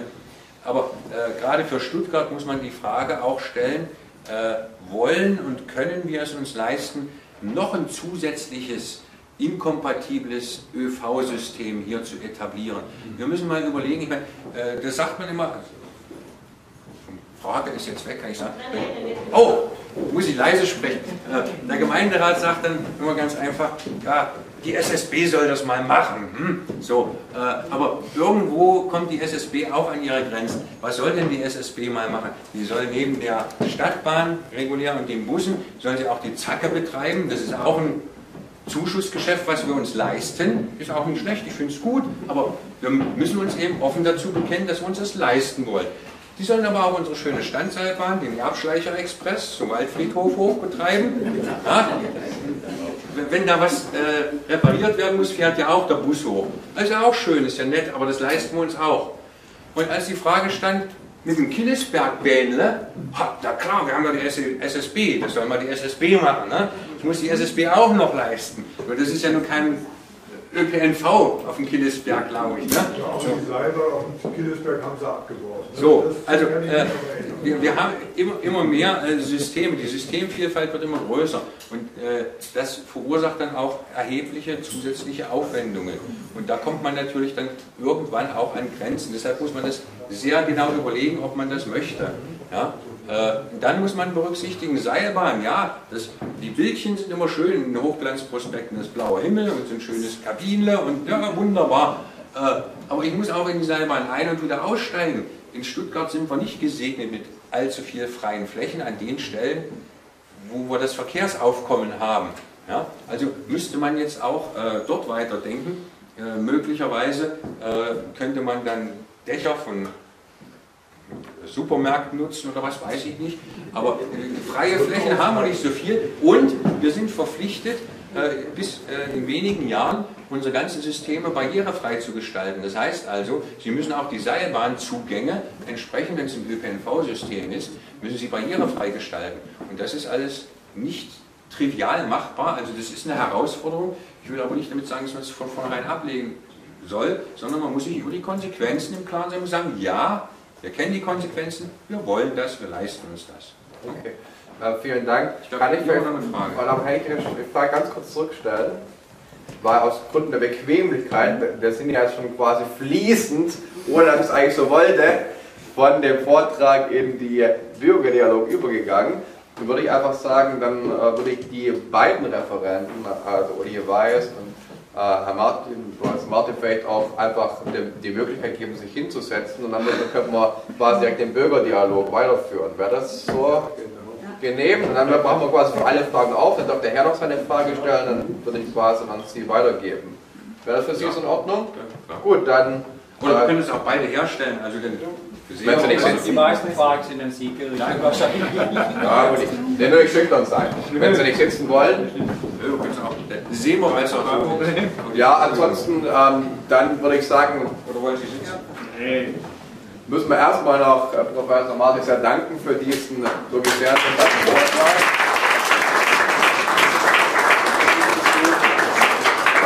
Und ich habe tatsächlich über Ihre Frage vorhin nochmal nachgedacht und tatsächlich, es wird Sie jetzt nicht überraschen, aber ich habe meine Wahlentscheidung auch noch nie rein am Verkehr fe- festgelegt. Schon zugegeben, ich ja auch nicht. Okay, äh, vielen Dank. Und dann, äh, ja, ähm, ist der Raum für Fragen offen. Jetzt, ich glaube, Sie waren zuerst und dann Frau Laber wären Sie quasi als nächstes dann dran gewesen. Und Also nochmal die Heutinger Straße und Zone 30, es muss irgendwo einen Sinn machen. Die Heutinger Straße macht keinen Sinn im Vergleich zur Altstraße, wo Schulen sind. Das sehe ich nicht ein. Aber Heutinger Straße, das, sehe ich- das muss einen Sinn machen. Wenn es keinen Sinn macht, für Anwohner sind Wohnen Sie, wohnen Sie in der Heutlinger Straße? Also. Also, sehen Sie, sehen Sie, jetzt. können Sie den Mann, können Sie den Mann lassen? Fängt schon an. Individualinteresse. Ich wohne in der Altstraße mit Ja, gar gut, nicht für ich sag, wir sagen, dann haben wir das Feuerwehrprinzip. Florian, Bitte ausreden Ich wohne in der Albstraße. Wenn ein Auto mit 30 fährt, dann habe ich 60, 16 Sekunden Lärm, Schmutz. Wenn ein Auto mit 50 fährt, habe ich 10 Sekunden Lärm und Schmutz. Und wir sind 10 Sekunden, 6 Sekunden weniger Mehrwert als 16. So, und die Epplerstraße ist mein letztes Ding. Epplerstraße autofrei, da bin ich dafür. Was ich vorgestern erlebt habe, um halb sechs, war dem Fahrrad unterwegs, wie immer. In Degerloch war ich kein Auto. War Polizei, Feuerwehr. Die wollten durch. Feuergasse. Wie denn? Ein Bus war da. Da war kein Durchgang. Die zwei Autos haben mindestens drei Minuten gebraucht bis, zur, bis zum Einsteigen. Das ist eine Katastrophe. Das ist eine Katastrophe. Wenn Sie morgens in- ins Geschäft fahren und abends heimkommen, irgendwie durch die Eppelstraße, ich gehe zu Fuß oder mit dem Fahrrad, das ist ein Wahnsinn. Es muss, da muss man was tun. Ich habe Das ist ein absoluter Wahnsinn. Was wäre jetzt Ihre Anregung? Ich habe jetzt nicht ganz verstanden. Vielleicht- Anregung, autofrei. Ein Parkhaus, die Eppelstraße. Eppelstraße. Ein Parkhaus oder unterirdis, egal. Aber die Autos, das ist ein Wahnsinn. Da kann man auch gleich mal weitergeben. Na, die Idee ist, wieder einzig bin, das schon gesehen die. Idee ist hier Apple. Apple Straße autofrei. Absolut. Absolut. Das muss möglich sein. Ja. Ich gebe das an die Runde. Also ich selber würde es, das ist jetzt wirklich rein subjektive Meinung, äh, positiv sehen. Äh, weil es gab ja, oder, ja vielfältige Beispiele in Deutschland an unterschiedlichen Stellen, unterschiedlichen Städten, wo größte Bedenken gewesen sind, wenn man dort Veränderungen einführt. Aber letztlich haben sich doch, wenn wir gar nicht so weit gucken, in der Königstraße war es ja seinerzeit ähnlich gewesen. Ja, da gab es also auch äh, nicht unerheblichen Widerstand. Das wissen jetzt auch nur die Älteren, die, Jüngeren, für die ist das schon Standard eigentlich. Da gab es auch viel Widerstand dagegen. Aber letztlich hat doch die Königstraße dadurch gewonnen. Es ist natürlich so, dass man das auch an dieser Stelle nicht ohne äh,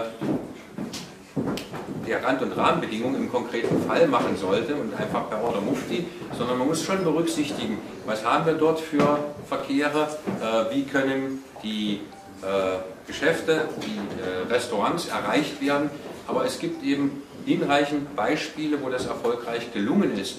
Und äh, deshalb bin ich schon grundsätzlich mal der Auffassung, dass es sich lohnt, den Gedanken zu verfolgen und dann mal zu schauen, äh, welche Möglichkeiten sind auch damit verbunden. Beispielsweise ganz simple äh, Folge, wenn ich dort keinen äh, Autoverkehr oder überhaupt keinen Verkehr außer Fußverkehr mehr habe, dann bedeutet das ja, mal abgesehen von Lieferfahrzeugen und so, die sind ja auf der Königstraße auch zeitlich limitiert, geht also, äh, dann kann ich vor den Gaststätten auch ein ganz anderes Ambiente schaffen, da kann ich Tische rausstellen und ähnliches. Also äh, die Leute, die dann da hocken und ein Eis essen oder einen Kaffee schlürfen, die gehen dann vielleicht auch in den benachbarten Schuhladen rein oder irgendetwas.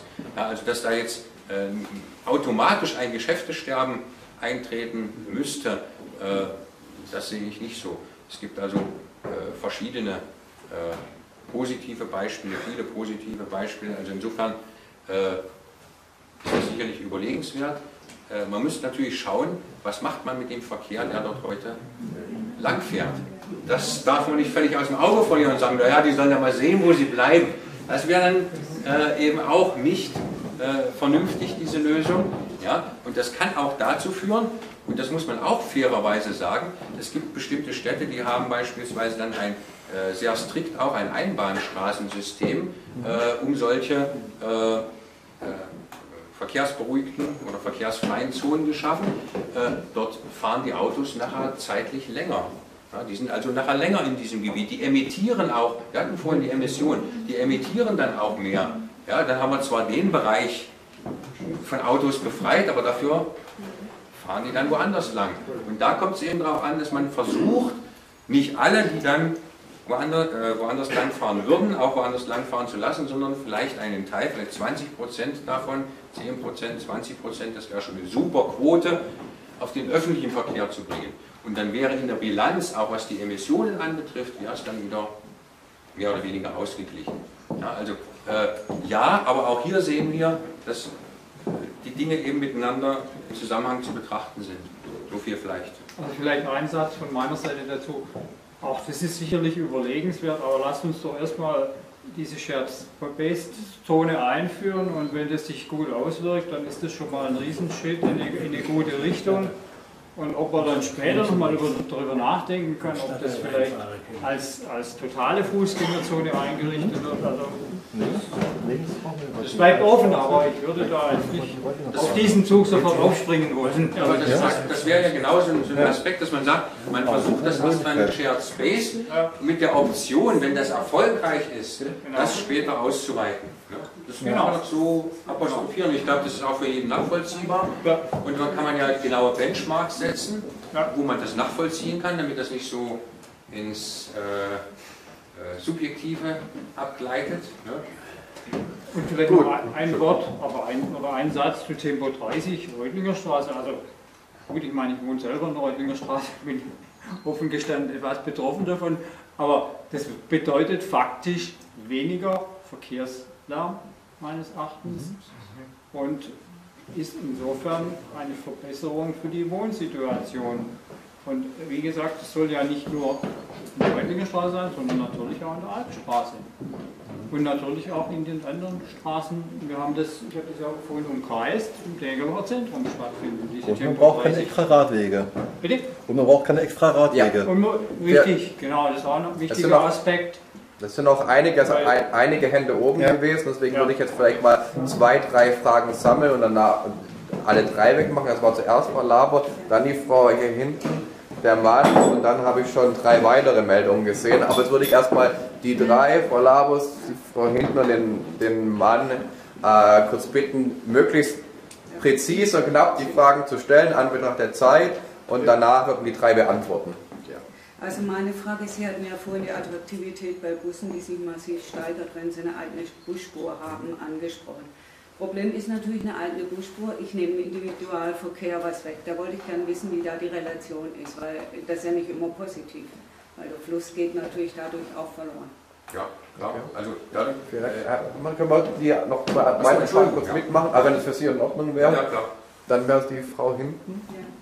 Ähm, Sie haben vorhin, Herr Weiß, in Ihrem Konzept noch aufgezeigt, ähm, Außenbuslinie 76 und 74, ähm, die sollen quasi aus der Alpstraße raus. Und ähm, also das, das sei so geplant, beziehungsweise ist halt mal so angedacht, was davon ist überhaupt realistisch? Oder ist das nur noch der Vollständigkeit halber aufgeführt? Das ist eigentlich nur eine Überlegung. Uli, wird man noch eine, eine weitere. Sind, sind Sie fertig mit Ihrer Frage? Ja, das war es erstmal. Okay, vielen Dank. Und dann wäre der Mann noch. Man darf ja nicht vergessen, der Innerortsverkehr, der Einkaufsverkehr, der Schulzubringerverkehr, das wird oft viel zu vernachlässigt bei diesen ganzen Diskussionen. Viele Städte haben ja auch schon Lösungen angeboten, wie kleine Busse oder wie jetzt haben wir diese Busse in Stuttgart, Silbenbuch, äh, in Frauenkopf und so weiter.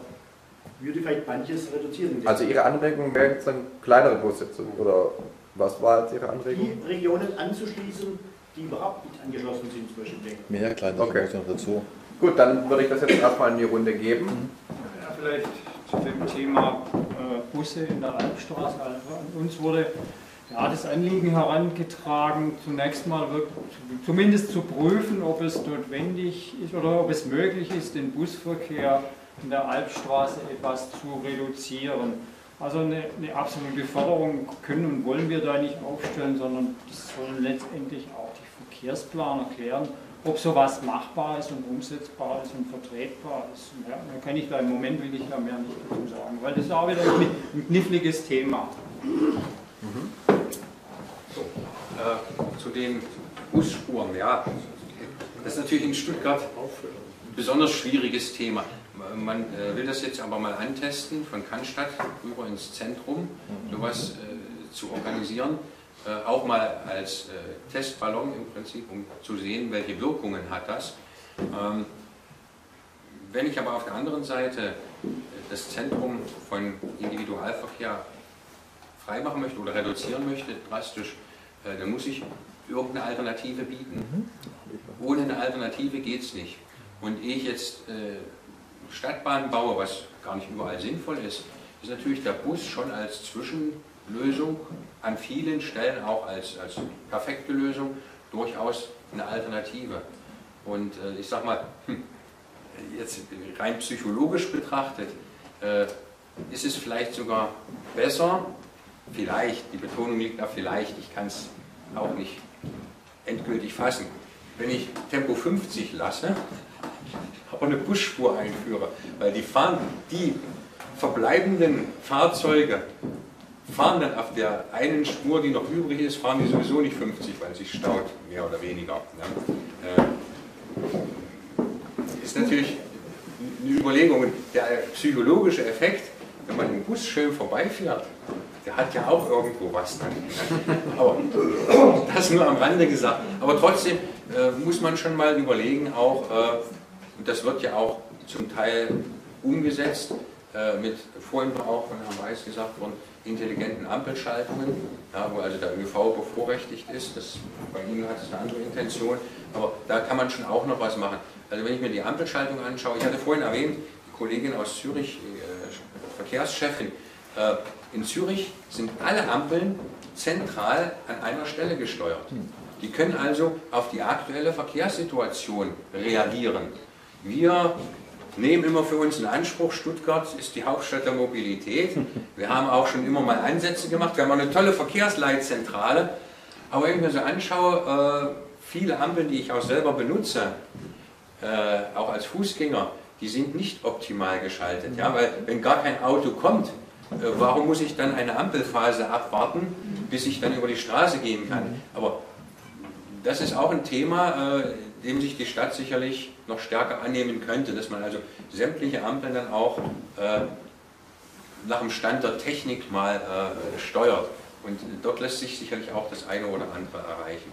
Ja? Und äh, dann könnte man auch mit diesen Bussen sicherlich äh, noch einen höheren Effekt erzielen. Okay. Was war noch die dritte Frage? Das, war Das waren die Zubringer. Ach so, ja, genau. Äh, hm. Jetzt mache ich mich bestimmt bei einigen hier unbeliebt. Äh, ich frage mich sowieso, äh, was da momentan abgeht. Das kann ich gar nicht selber fassen, äh, weder objektiv noch subjektiv. Ähm, vor den Schulen werden zunehmend Vorfahrten gefordert, äh, weil die Eltern im SUV ihre Kinder in die Schule bringen, ähnliches. Da hat äh, offensichtlich eine erhebliche gesellschaftliche Veränderung stattgefunden in den letzten Jahrzehnten. Als ich in die Schule gegangen bin, ist schon ein paar Tage her, äh, bei uns, bei uns, ja, ja, aber bei, bei uns war es noch so gewesen, wer im zweiten Halbjahr der ersten Klasse oder spätestens in der zweiten Klasse noch von seinen Eltern in die Schule gebracht wurde, äh, der wurde, wie sagt man heute, der wurde gebasht. Ja, genau. So, und äh, da kann man natürlich sagen, auf dem Land, wenn die Leute dann viele Kilometer zu überbrücken haben, aber in Stuttgart ist doch äh, die Anbindung mit dem ÖV für die Mehrzahl, vielleicht nicht für alle, aber für die Mehrzahl äh, so gut, dass die Kinder auch alleine fahren können. Ich fahre jeden Tag, ich mit dem ÖV, das sind auch immer so kleine Spruze, die dann da früh mitfahren und so, die kriegen das schon ganz gut in, in, in den Griff. Ne? Äh, Im ÖV äh, sind die Möglichkeiten schon ganz gut. Also insofern würde ich die Frage andersrum stellen oder formulieren aus meiner Sicht. Ich verstehe gar nicht, dass also die Eltern alle ihre Kinder jeden Tag in die Schule bringen müssen. Die Kinder können das dann auch schon durchaus ab einem gewissen Alter selbst. Ja. Gut. Eine Anmerkung dazu. Das war eigentlich, glaube ich, gar nicht gemeint, sondern gemeint war eigentlich, wenn man Busspuren rausnimmt, wie kommen die Kinder dann in die Schule. Weil da unten in dem Gebiet, was die Albstraße bedient mit den Bussen, sind ja viele Schulen. Da ja. sind ähm, mehrere, also Grundschule ist da, Wilhelmsgymnasium so. ist da, international, bis internationale Schule. Und glaube ich, um das ging es eigentlich eher, dass man ja. dann ja, gut. muss, wie dann, wenn Busse Richtig. ausgenommen werden, wie die Kinder dann regelmäßig in die Schule ah. kommen zu den entsprechenden Zeiten. Vielen Dank für die Klarstellung. Das ist natürlich ein wichtiger, ein wichtiger Hinweis, äh, den man berücksichtigen muss. Natürlich, wenn ich die Busse alle über die Autobahn außen um Stuttgart rumfahren lasse, ist das natürlich schön, dann habe ich sie alle aus dem Stadtverkehr raus. Aber, wer, wer, wer, sollte, wer sollte denn auch noch... Genau. Eigentlich mal ja, ja. tatsächlich erheben. Richtig. Wer, wer, soll denn die Busse dann noch nutzen? Dann müssen ja noch mehr Eltern ihre Kinder mit dem SUV zur Schule bringen, wenn die Busse dann nicht mehr halten können. Ja? Genau das ist das ja, was man nicht will. Also die Busse sollen ja eigentlich eine Flächenerschließung ermöglichen. Und auch bei den Bussen hat ja eine Entwicklung stattgefunden. Äh, da geht auch noch ein bisschen was. Aber äh, bei den Bussen, denke ich, äh, ist eine Flächenerschließung schon nicht schlecht. Und was die Lärmbelastung angeht, wenn man sich diese Hybridbusse anschaut bei der SSB mit Elektromobilität, ist es noch ein bisschen schwierig, weil die topografische Lage hier Probleme bereitet an bestimmten Stellen. Aber die Hybridbusse selbst sind ja auch schon sehr leise ja, und auch äh, ja, nicht unbequem gegenüber den alten Bussen, etwas bequemer sogar. Okay, jetzt habe ich ja schon wieder ganz viele Meldungen gehabt. Dirk hat eine Meldung, Herr Göttler auch nicht, Herr Göttler, Hans Hermann und Theo hat heißt, da ist auch noch eine, eine Meldung. Jetzt würde ich mal mit Hans Hermann, glaube ich, zuerst an, anfangen. Ja, ich spreche mal direkt etwas aus, aus Degerloch an. Äh, nämlich die Nebenstraßen der äh, Epplestraße auf der rechten Seite. Äh, dort ist ein reger Verkehr zum Parkplatz suchen und auch zum Zurückfahren. Busse, also Autos, die bei uns in die Straße fahren, das sind ungefähr 130 bis 140 in einer Stunde. Also es ist nicht irgendwie eine Kleinigkeit. Äh, ist also alles gezählt, muss ich sagen. Nicht zu Unzeiten, nicht morgens, sondern irgendwann zwischendurch. Und äh, die Leute fahren dann nach unten runter, da ist die Blockade von der äh, Karl-Pfaff-Straße. Dann fahren sie alle wieder rauf äh, durch die äh, Löwenstraße zur Äpplestraße und so weiter. Das ist das eine Problem, was ich habe, dass wir überhaupt keine Chance haben mit dem, was, der, was er gesagt hat, äh, da von diesem Verkehr irgendwie etwas zu verringern. Mhm. Dann, was ich nebenbei noch sagen wollte, also äh, die Busse auf der, äh, auf, in der Epplestraße, die geben im letzten Augenblick noch so viel Gas, dass ich, äh, die fahren also nicht nur 30, sondern die fahren wirklich 50 bis zur Haltestelle, sodass ich da also richtig beiseite springen muss. Um Gut, Herr Herrmann, das, das, das, das sprengt jetzt wahrscheinlich dann doch unseren Rahmen. okay, äh, Herr Gößler. Ich wollte mal unseren Fachmann fragen, da er schon da ist, ja, äh, was er eigentlich von einer Nahverkehrsabgabe und einem kostenfreien ÖPNV hält. Weil das ist ja eigentlich genau das, was wir eigentlich hier am ehesten bräuchten, weil damit könnte man auch mehrere Autofahrer wirklich locken zu den äh, öffentlichen Nahverkehr. Okay. Und dann wäre noch Thais, der ist jetzt aber gerade in ein Tete-a-Tete quasi äh, involviert. Nee, da kannst du deine Frage schnell stellen. Ich? Ja? Entschuldigung. Kein Problem. Ähm, ich hatte zwei Fragen. Das eine war, ähm, das, das eine war, ich habe jetzt ganz oft gesagt, oh, das kostet aber so viel Geld, die SSB muss das ja auch irgendwie finanzieren und so. Da wäre meine Frage, wie sieht denn das überhaupt mit den Kostenverteilungen so aus? Also der Haushalt in Stuttgart wenn man da guckt, was wird für Autos ausgegeben, dann findet man keine eindeutigen Zahlen. Für eine SSB ist es einfach, weil da gibt es eine Zahl, vom Radverkehr wird auch aufgerechnet. Aber Autoverkehr, da fallen mir gerade zwei Tunnel ein, die kosten mehr als der Radverkehr für die nächsten vier, fünf Jahre. Ähm, das ist die eine Frage. Und die zweite Frage muss ich gerade überlegen. Gut, kannst ja nachher noch überlegen. Dann geben wir mal die drei Fragen mal in die Runde.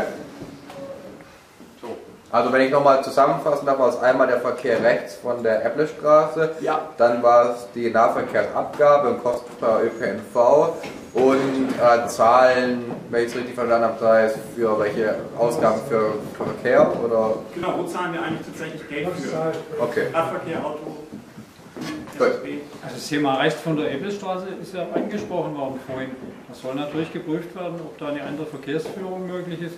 Und insbesondere, und insbesondere in der mittleren Straße, da drängt es sich ja absolut auf, dass die als Einbahnstraße geführt wird. Das haben wir auch schon mal beantragt. Und das ich ja danke, dass ihr das beantragt habt. Ja. Ihr seid aber die Einzigen, die das beantragt haben.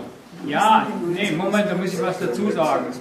Ich habe es vorhin erwähnt, der Bezirksbeirat war der Meinung, dass das eine sinnvolle Lösung ist, aber wollte, dass das Thema zurückgestellt wird, bis es ein Gesamtverkehrskonzept für Degeloch gibt. Und das soll es jetzt geben. So. Dann war äh, Frage zum äh, Nahverkehrs, zur Nahverkehrsabgabe und zum kostenfreien Verkehr. Ja, Nahverkehrsabgabe kann man sicherlich machen.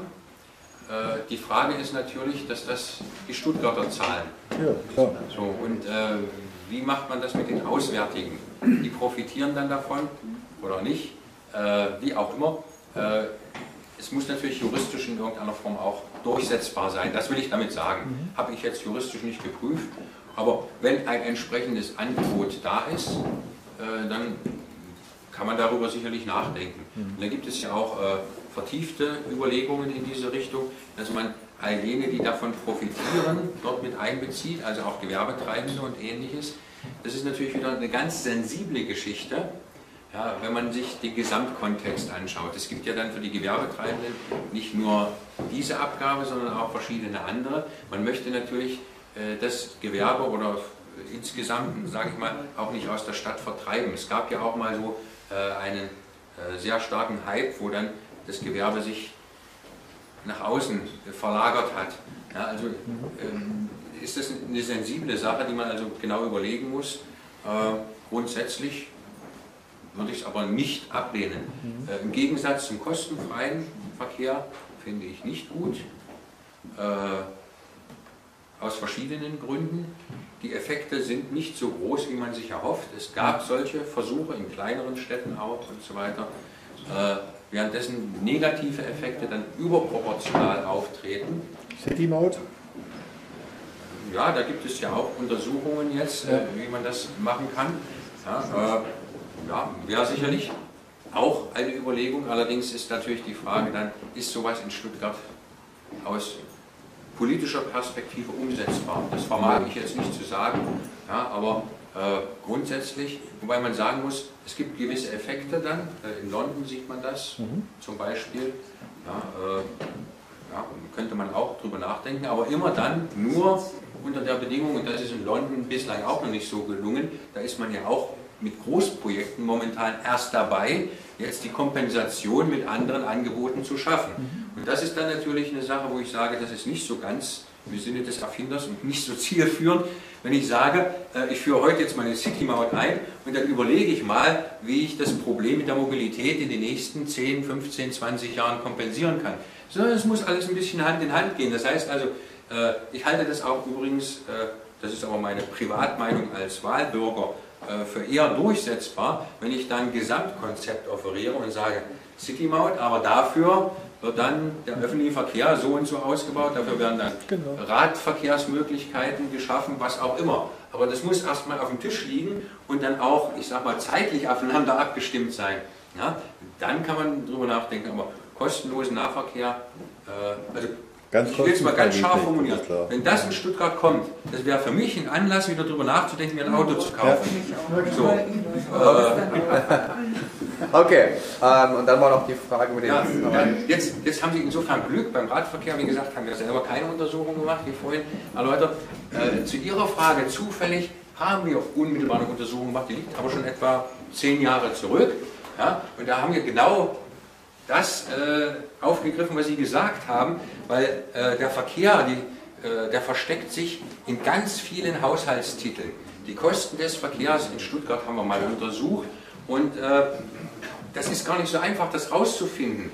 Äh, Sie finden zum Beispiel die Parkplätze vor Schulen, die finden Sie im Bildungshaushalt, na? um ein Beispiel zu nennen. Das heißt, völlig korrekt, das lässt sich gar nicht so einfach fassen, deshalb hat man uns mal gefragt, haben uns das angeschaut.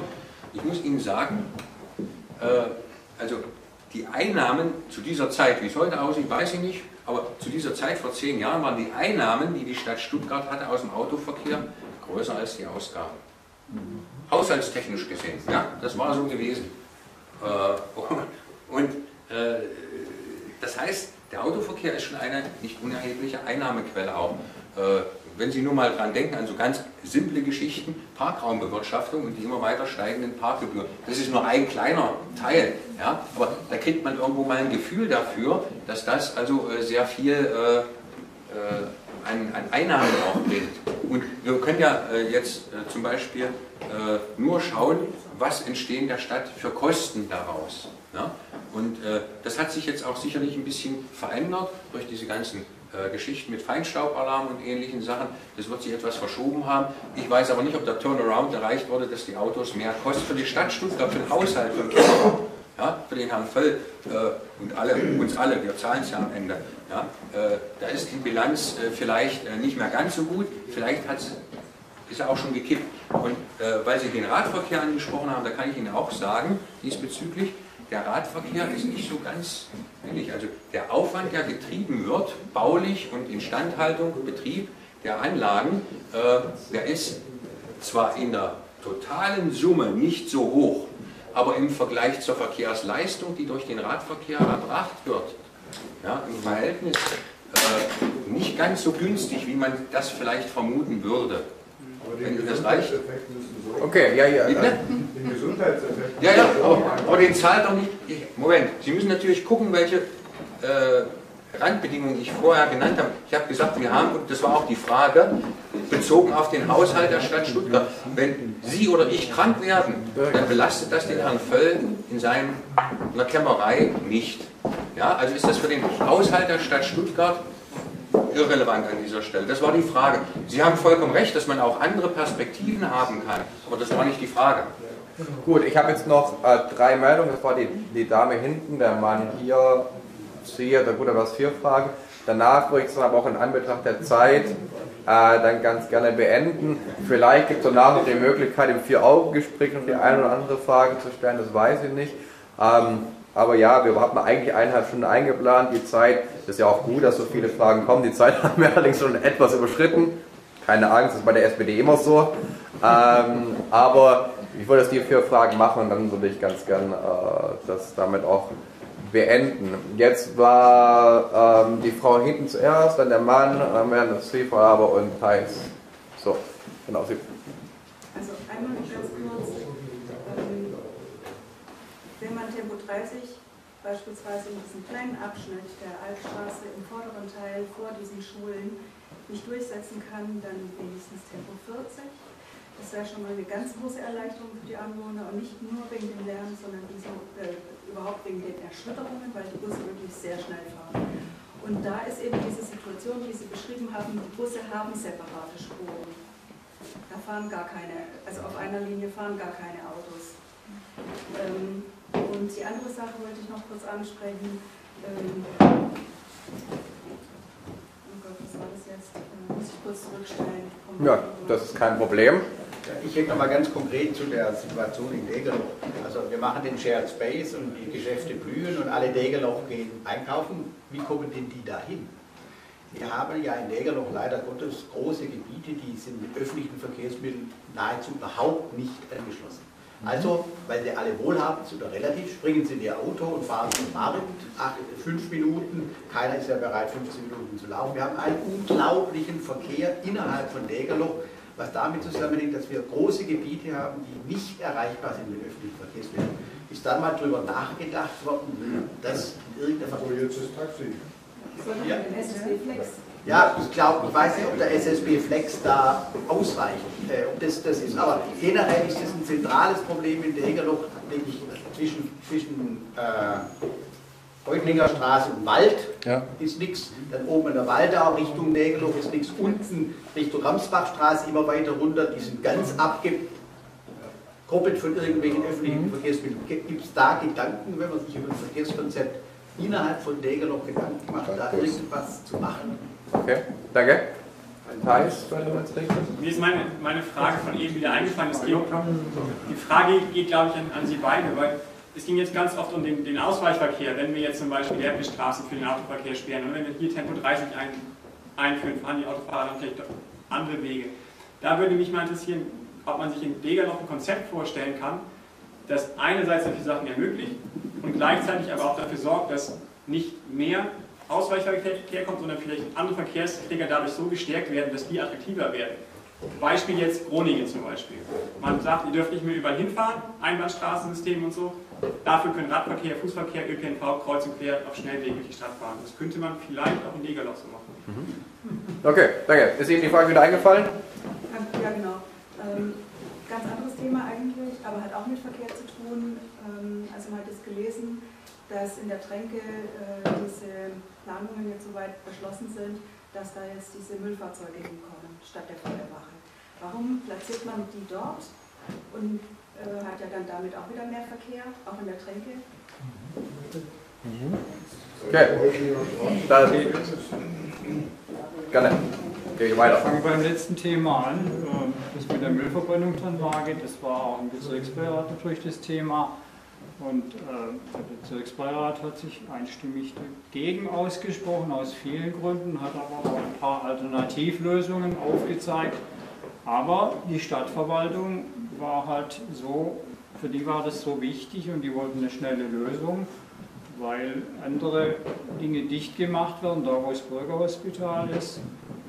Und außerdem in Feingen gibt es auch das Problem, dass da, ähm, wie war das noch? Allianz. Allianz. Allianzgelände, genau. Ja. Also, da konnten wir uns nicht durchsetzen, letztendlich, ganz einfach. Und es gab keine Alternative. Und was das Thema, ja, was das Thema Alpstraße anbelangt, wir sind natürlich dafür, dass die gesamte Alpstraße 30er, 30er Zone wird, nicht nur, nicht nur im Schulbereich. Und was das Thema, was Sie, der Herr im blauen Pullover gesagt haben, ja klar, natürlich wissen wir alle, dass auch aus den ähm, ja, anderen Wohngebieten da viele natürlich mit dem Auto Richtung Eppelstraße fahren. Und Da kann man, Patentlösung gibt es nicht. Es gibt natürlich Parkhäuser, es gibt das Rewe-Parkhaus, es gibt das Parkhaus an der Filterschule, es gibt derzeit noch den Parkplatz zwischen dem Ärztehaus und der Polizeiwache.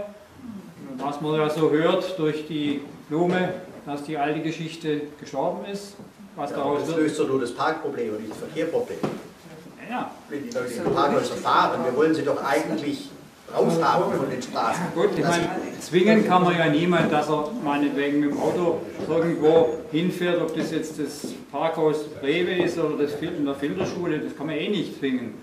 Aber die Möglichkeiten gibt es und die Alternative ist natürlich schon auch der Ortsbus, das habe ich ja vorhin dargestellt und der soll kommen, das ist unser dringender Wunsch und der Ortsbus soll ja auch in die Waldau anfahren, Hofeld anfahren und äh, es gibt dann noch, immer noch genug Leute, die gehen zu Fuß von ihrem Wohngebiet Richtung Epplestraße oder auch mit dem Rad. Also sind da schon ein paar Dinge, die da eine Rolle spielen und auch vielleicht für eine gewisse Beruhigung sorgen. Und mit den Eco-Terminals, wenn wir noch vergessen, da werden ja auch dann Radplätze geschaffen, also auch für E-Bikes. wenn man will. Okay, jetzt. Ähm, Äh, Das passt eigentlich gut zusammen. Auf der einen Seite äh, ist ja auch äh, gar nicht untypisch. Äh, wird gesagt, ja, wenn die Busse hier langfahren, dann gibt es also Erschütterungen und Lärm. Auf der anderen Seite wird aber gesagt, wir brauchen mehr Erschließung durch die Busse. Ja, das ist, äh, wie gesagt, auch nicht untypisch. Das heißt, das äh, Moment, Moment, miteinander. Moment. Darf ich, ich, ich würde ja nur mal gern antworten. Wenn Sie Frage so, also äh, haben wir da Widersprüche und jetzt muss man doch schauen, wie kann man dort äh, ein Stück weit äh, lösen, sodass also äh, beide berechtigten Interessenlagen dort mit einfließen. Und äh, zum Beispiel, äh, wenn Sie von Erschütterungen sprechen, ich kenne jetzt den konkreten Fall, habe ich jetzt logischerweise keine Messungen gemacht, aber das lässt sich ja auch nachweisen. Und wenn es tatsächlich so ist, dann wäre schon über eine Möglichkeit nachzudenken, die Beeinträchtigung eben so stark ist, dass sie da negativ wirkt auf die Anwohner, ob man da baulich was verändert. Man kann heute auch im Straßen- und Schienenverkehr... Wir haben vor zehn Jahren die Straße ähm, erneuert bekommen, auf Initiative der Anwohner hin und die ähm, Fahrbahndecke ist damit erneuert worden und es war damals sehr viel besser. Jetzt sind wir nach zehn Jahren wieder in dem ähm, in dem Stadium, dass die Häuser Risse bekommen durch die Erschütterung. Man kann, das ist ja dann nicht akzeptabel auf jeden Fall. Ne? Und da kann man aber auch baulich heute schon, äh, ich bin jetzt nicht der Straßenbauexperte, aber so ein bisschen Einblick habe ich schon in die Richtung. Äh, man kann heute auch baulich schon eine ganze Menge machen, sodass also auch die Erschütterungen äh, straßenseitig auch gedämpft werden und so weiter. Ja, das ist ne? ja toll. Wer wäre eine ganz super Maßnahme, es kostet aber viel Geld. Wenn ja. Busse ein bisschen langsamer fahren würden, wäre uns auch schon geholfen. Und es wäre mehr Rücksichtnahme auch für Tiere die, auf, dieser, auf diesem Abschnitt. Ja, aber wie, wie gesagt, die Leute, die im Bus sitzen, die Leute, die im Bus sitzen und äh, Sie hatten ja gerade gesagt, äh, dass man äh, Konzepte haben möchte, um die Leute auf den Bus zu bringen. Die Leute, die im Bus sitzen, wenn wir die, wenn wir die fragen, es geht können Sie mal aus. Degerbacher Busbahnhof fahren alle diese Strecke runter. Ja? Und da könnte man, das ist also, wenn man jetzt mal die Kapazitäten anschaut, das ist eine Überkapazität da. Genau. Jetzt könnte man sagen, ein Teil dieser Busse, um diese Bewohner zu schützen, fahren nicht über die äh, äh, Albstraße ja. runter, sondern fahren das. über die B27 auf die Filter. Ja. Oder fahren über die Reutlinger Straße, um dort ja. noch die Leute abzuholen. Also, ja. Vielleicht kann man weiterreden ja, nee, also, äh, das spricht ja nichts dagegen. Ich wollte nur eine weitere Option aufmachen, dass man auch baulich etwas tun kann heute wenn man natürlich dann das Geld in die Hand nimmt, über Geld haben wir ja auch schon mal kurz gesprochen. Vor zehn Jahren hat die Stadt das ja gemacht. Naja, aber zehn Jahre ist eben auch eine... Äh, das steht jetzt eben auch wieder an. Gewisse Zeit, wenn es nicht realisiert wird, werden wir entsprechende Schreiben versenden. Naja. Ähm, andernfalls, wenn jetzt zum Beispiel diese Reduzierung kommt, dass überhaupt ganz Degerloch dann diese Tempo-30-Zone bekommt, sind wir natürlich erstmal sehr froh. Und was die bauliche Realisierung betrifft, darüber kann sich mit der Stadt ja trotzdem mal verständigen. Und äh, es gibt ja auch sehr gute Beziehungen. Also die SSB ist ja zum, äh, betreibt ja auch fast alle Buslinien, glaube ich. Oder äh, die betreibt alle, gegebenenfalls sind nach Auftragnehmer dabei, das weiß ich jetzt nicht genau. Ist aber egal. Die SSB ist ja ein sehr guter Ansprechpartner eigentlich in dieser, diesen Fragen auch und immer offen. Also insofern... Sind nicht offen. Wie bitte? Sind nicht offen. Also Doch, bei, den, bei, den letzten, bei den letzten Gesprächen, die wir äh, im Bezirksbeirat mit der SSB äh, äh, hatten, für äh, dieses äh, öffentliche Verkehrswunschkonzert, ja, äh, wurde, eigentlich, wurde eigentlich alles, was wir vorgetragen hatten, äh, von vornherein erstmal abgelehnt. Gut, also, aber da, da, kann man nicht sagen, dass die Wenn ich da mal schnell einhaken darf, weil mir geht es jetzt ein bisschen ja. so kreuz und quer. Ja. Das sprengt natürlich jetzt hier unser Thema. Also unser ja. Thema ist jetzt nicht SSB und ja. Nein, aber das, es geht ja um das Buskonzept als solches. Mhm. Gut, aber selbst wenn die SSB sich sperrt, dann haben sie auch andere Möglichkeiten, ein, ein Konzept zu entwickeln und diesmal zur Diskussion zu stellen. Da reicht es aber nicht, äh, dass eben einige Leute dafür sind, äh, wie auch immer, sondern es muss dann auch die Frage gestellt werden, äh, was heißt das für die Nutzung der Busse? Da war ja die Frage gewesen, wir wollen ein Konzept, wo dann mehr ÖV genutzt wird. Bedeutet das, dass dann mehr Leute die Busse benutzen? Dann steigt sicherlich das Interesse auch SSB-seitig an solchen Dingen. Ne? Wenn es natürlich bedeutet, dass weniger Leute dann die Busse nutzen, dann ist das ein Stück weit kontraproduktiv und geht genau entgegen Ihrem Vorschlag, äh, da kann ich nur sagen, um die Frage gleich mit zu beantworten, äh, das ist ja, was Sie angesprochen haben, auch das, was ich vorgeschlagen habe. Also insofern äh, deckt sich das vollkommen. Also Ihr Ansatz, dass man also überlegt, wie kann man mehr Leute auf den ÖV bringen, indem man eben entsprechende Angebote schafft, entsprechende Strukturen schafft. Ja, ja. Okay, jetzt war noch eine Meldung ganz hinten, aber mit der Bitte, wenn das wirklich nur kurz geht, weil eigentlich wollte ich die Sache, also die Rednerliste beenden. War einfach nur der Hinweis, wenn es um die Busse geht, die zu schnell fahren, ähm, dann kann man da auch planerisch, baulich, wenn man eine Strecke auslegt für gewisse Fahrzeuggewichte und gewisse Geschwindigkeiten, dann bringt es nichts, wenn die Busfahrer sich da nicht halten. Und ich glaube, dann geht es nicht in eine planerische Richtung, dann geht es einfach in Richtung der Politik, dass man da vielleicht einfach mal auch Kontrollen einfordert, entweder durch die Polizei oder auch die SSB ihre eigene, ihr eigenes Personal äh, kontrolliert an der Stelle.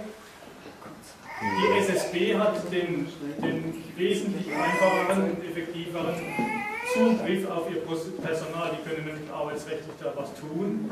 Äh, die Polizei, die kann einfach nur ein Bußgeld verhängen. Das ja. Also vielen Dank für den Hinweis. Vielleicht kann ich Ihnen, ähm, ich weiß Ihren Namen leider nicht, aber vielleicht kann ich Sie bitten, dass Sie uns dann vielleicht äh, die Adresse steht auf der Homepage eine E-Mail schreiben und den Sachverhalt für ihn nochmal schildern.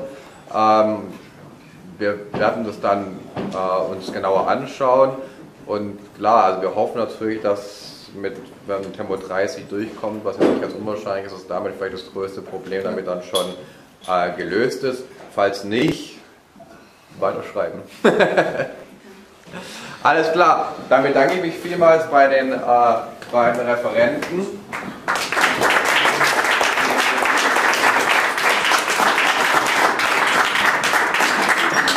Ich habe noch ein kleines äh, Dankeschön für Herrn Professor Martin. Das ist ein Degerlocher Wein. Sie, Sie haben ja gesagt, Sie fahren mit dem öffentlichen Nahverkehr. Das ist einer der Vorteile, die man da hat. Und noch ein Sekko auch von Degerlocher Lagen.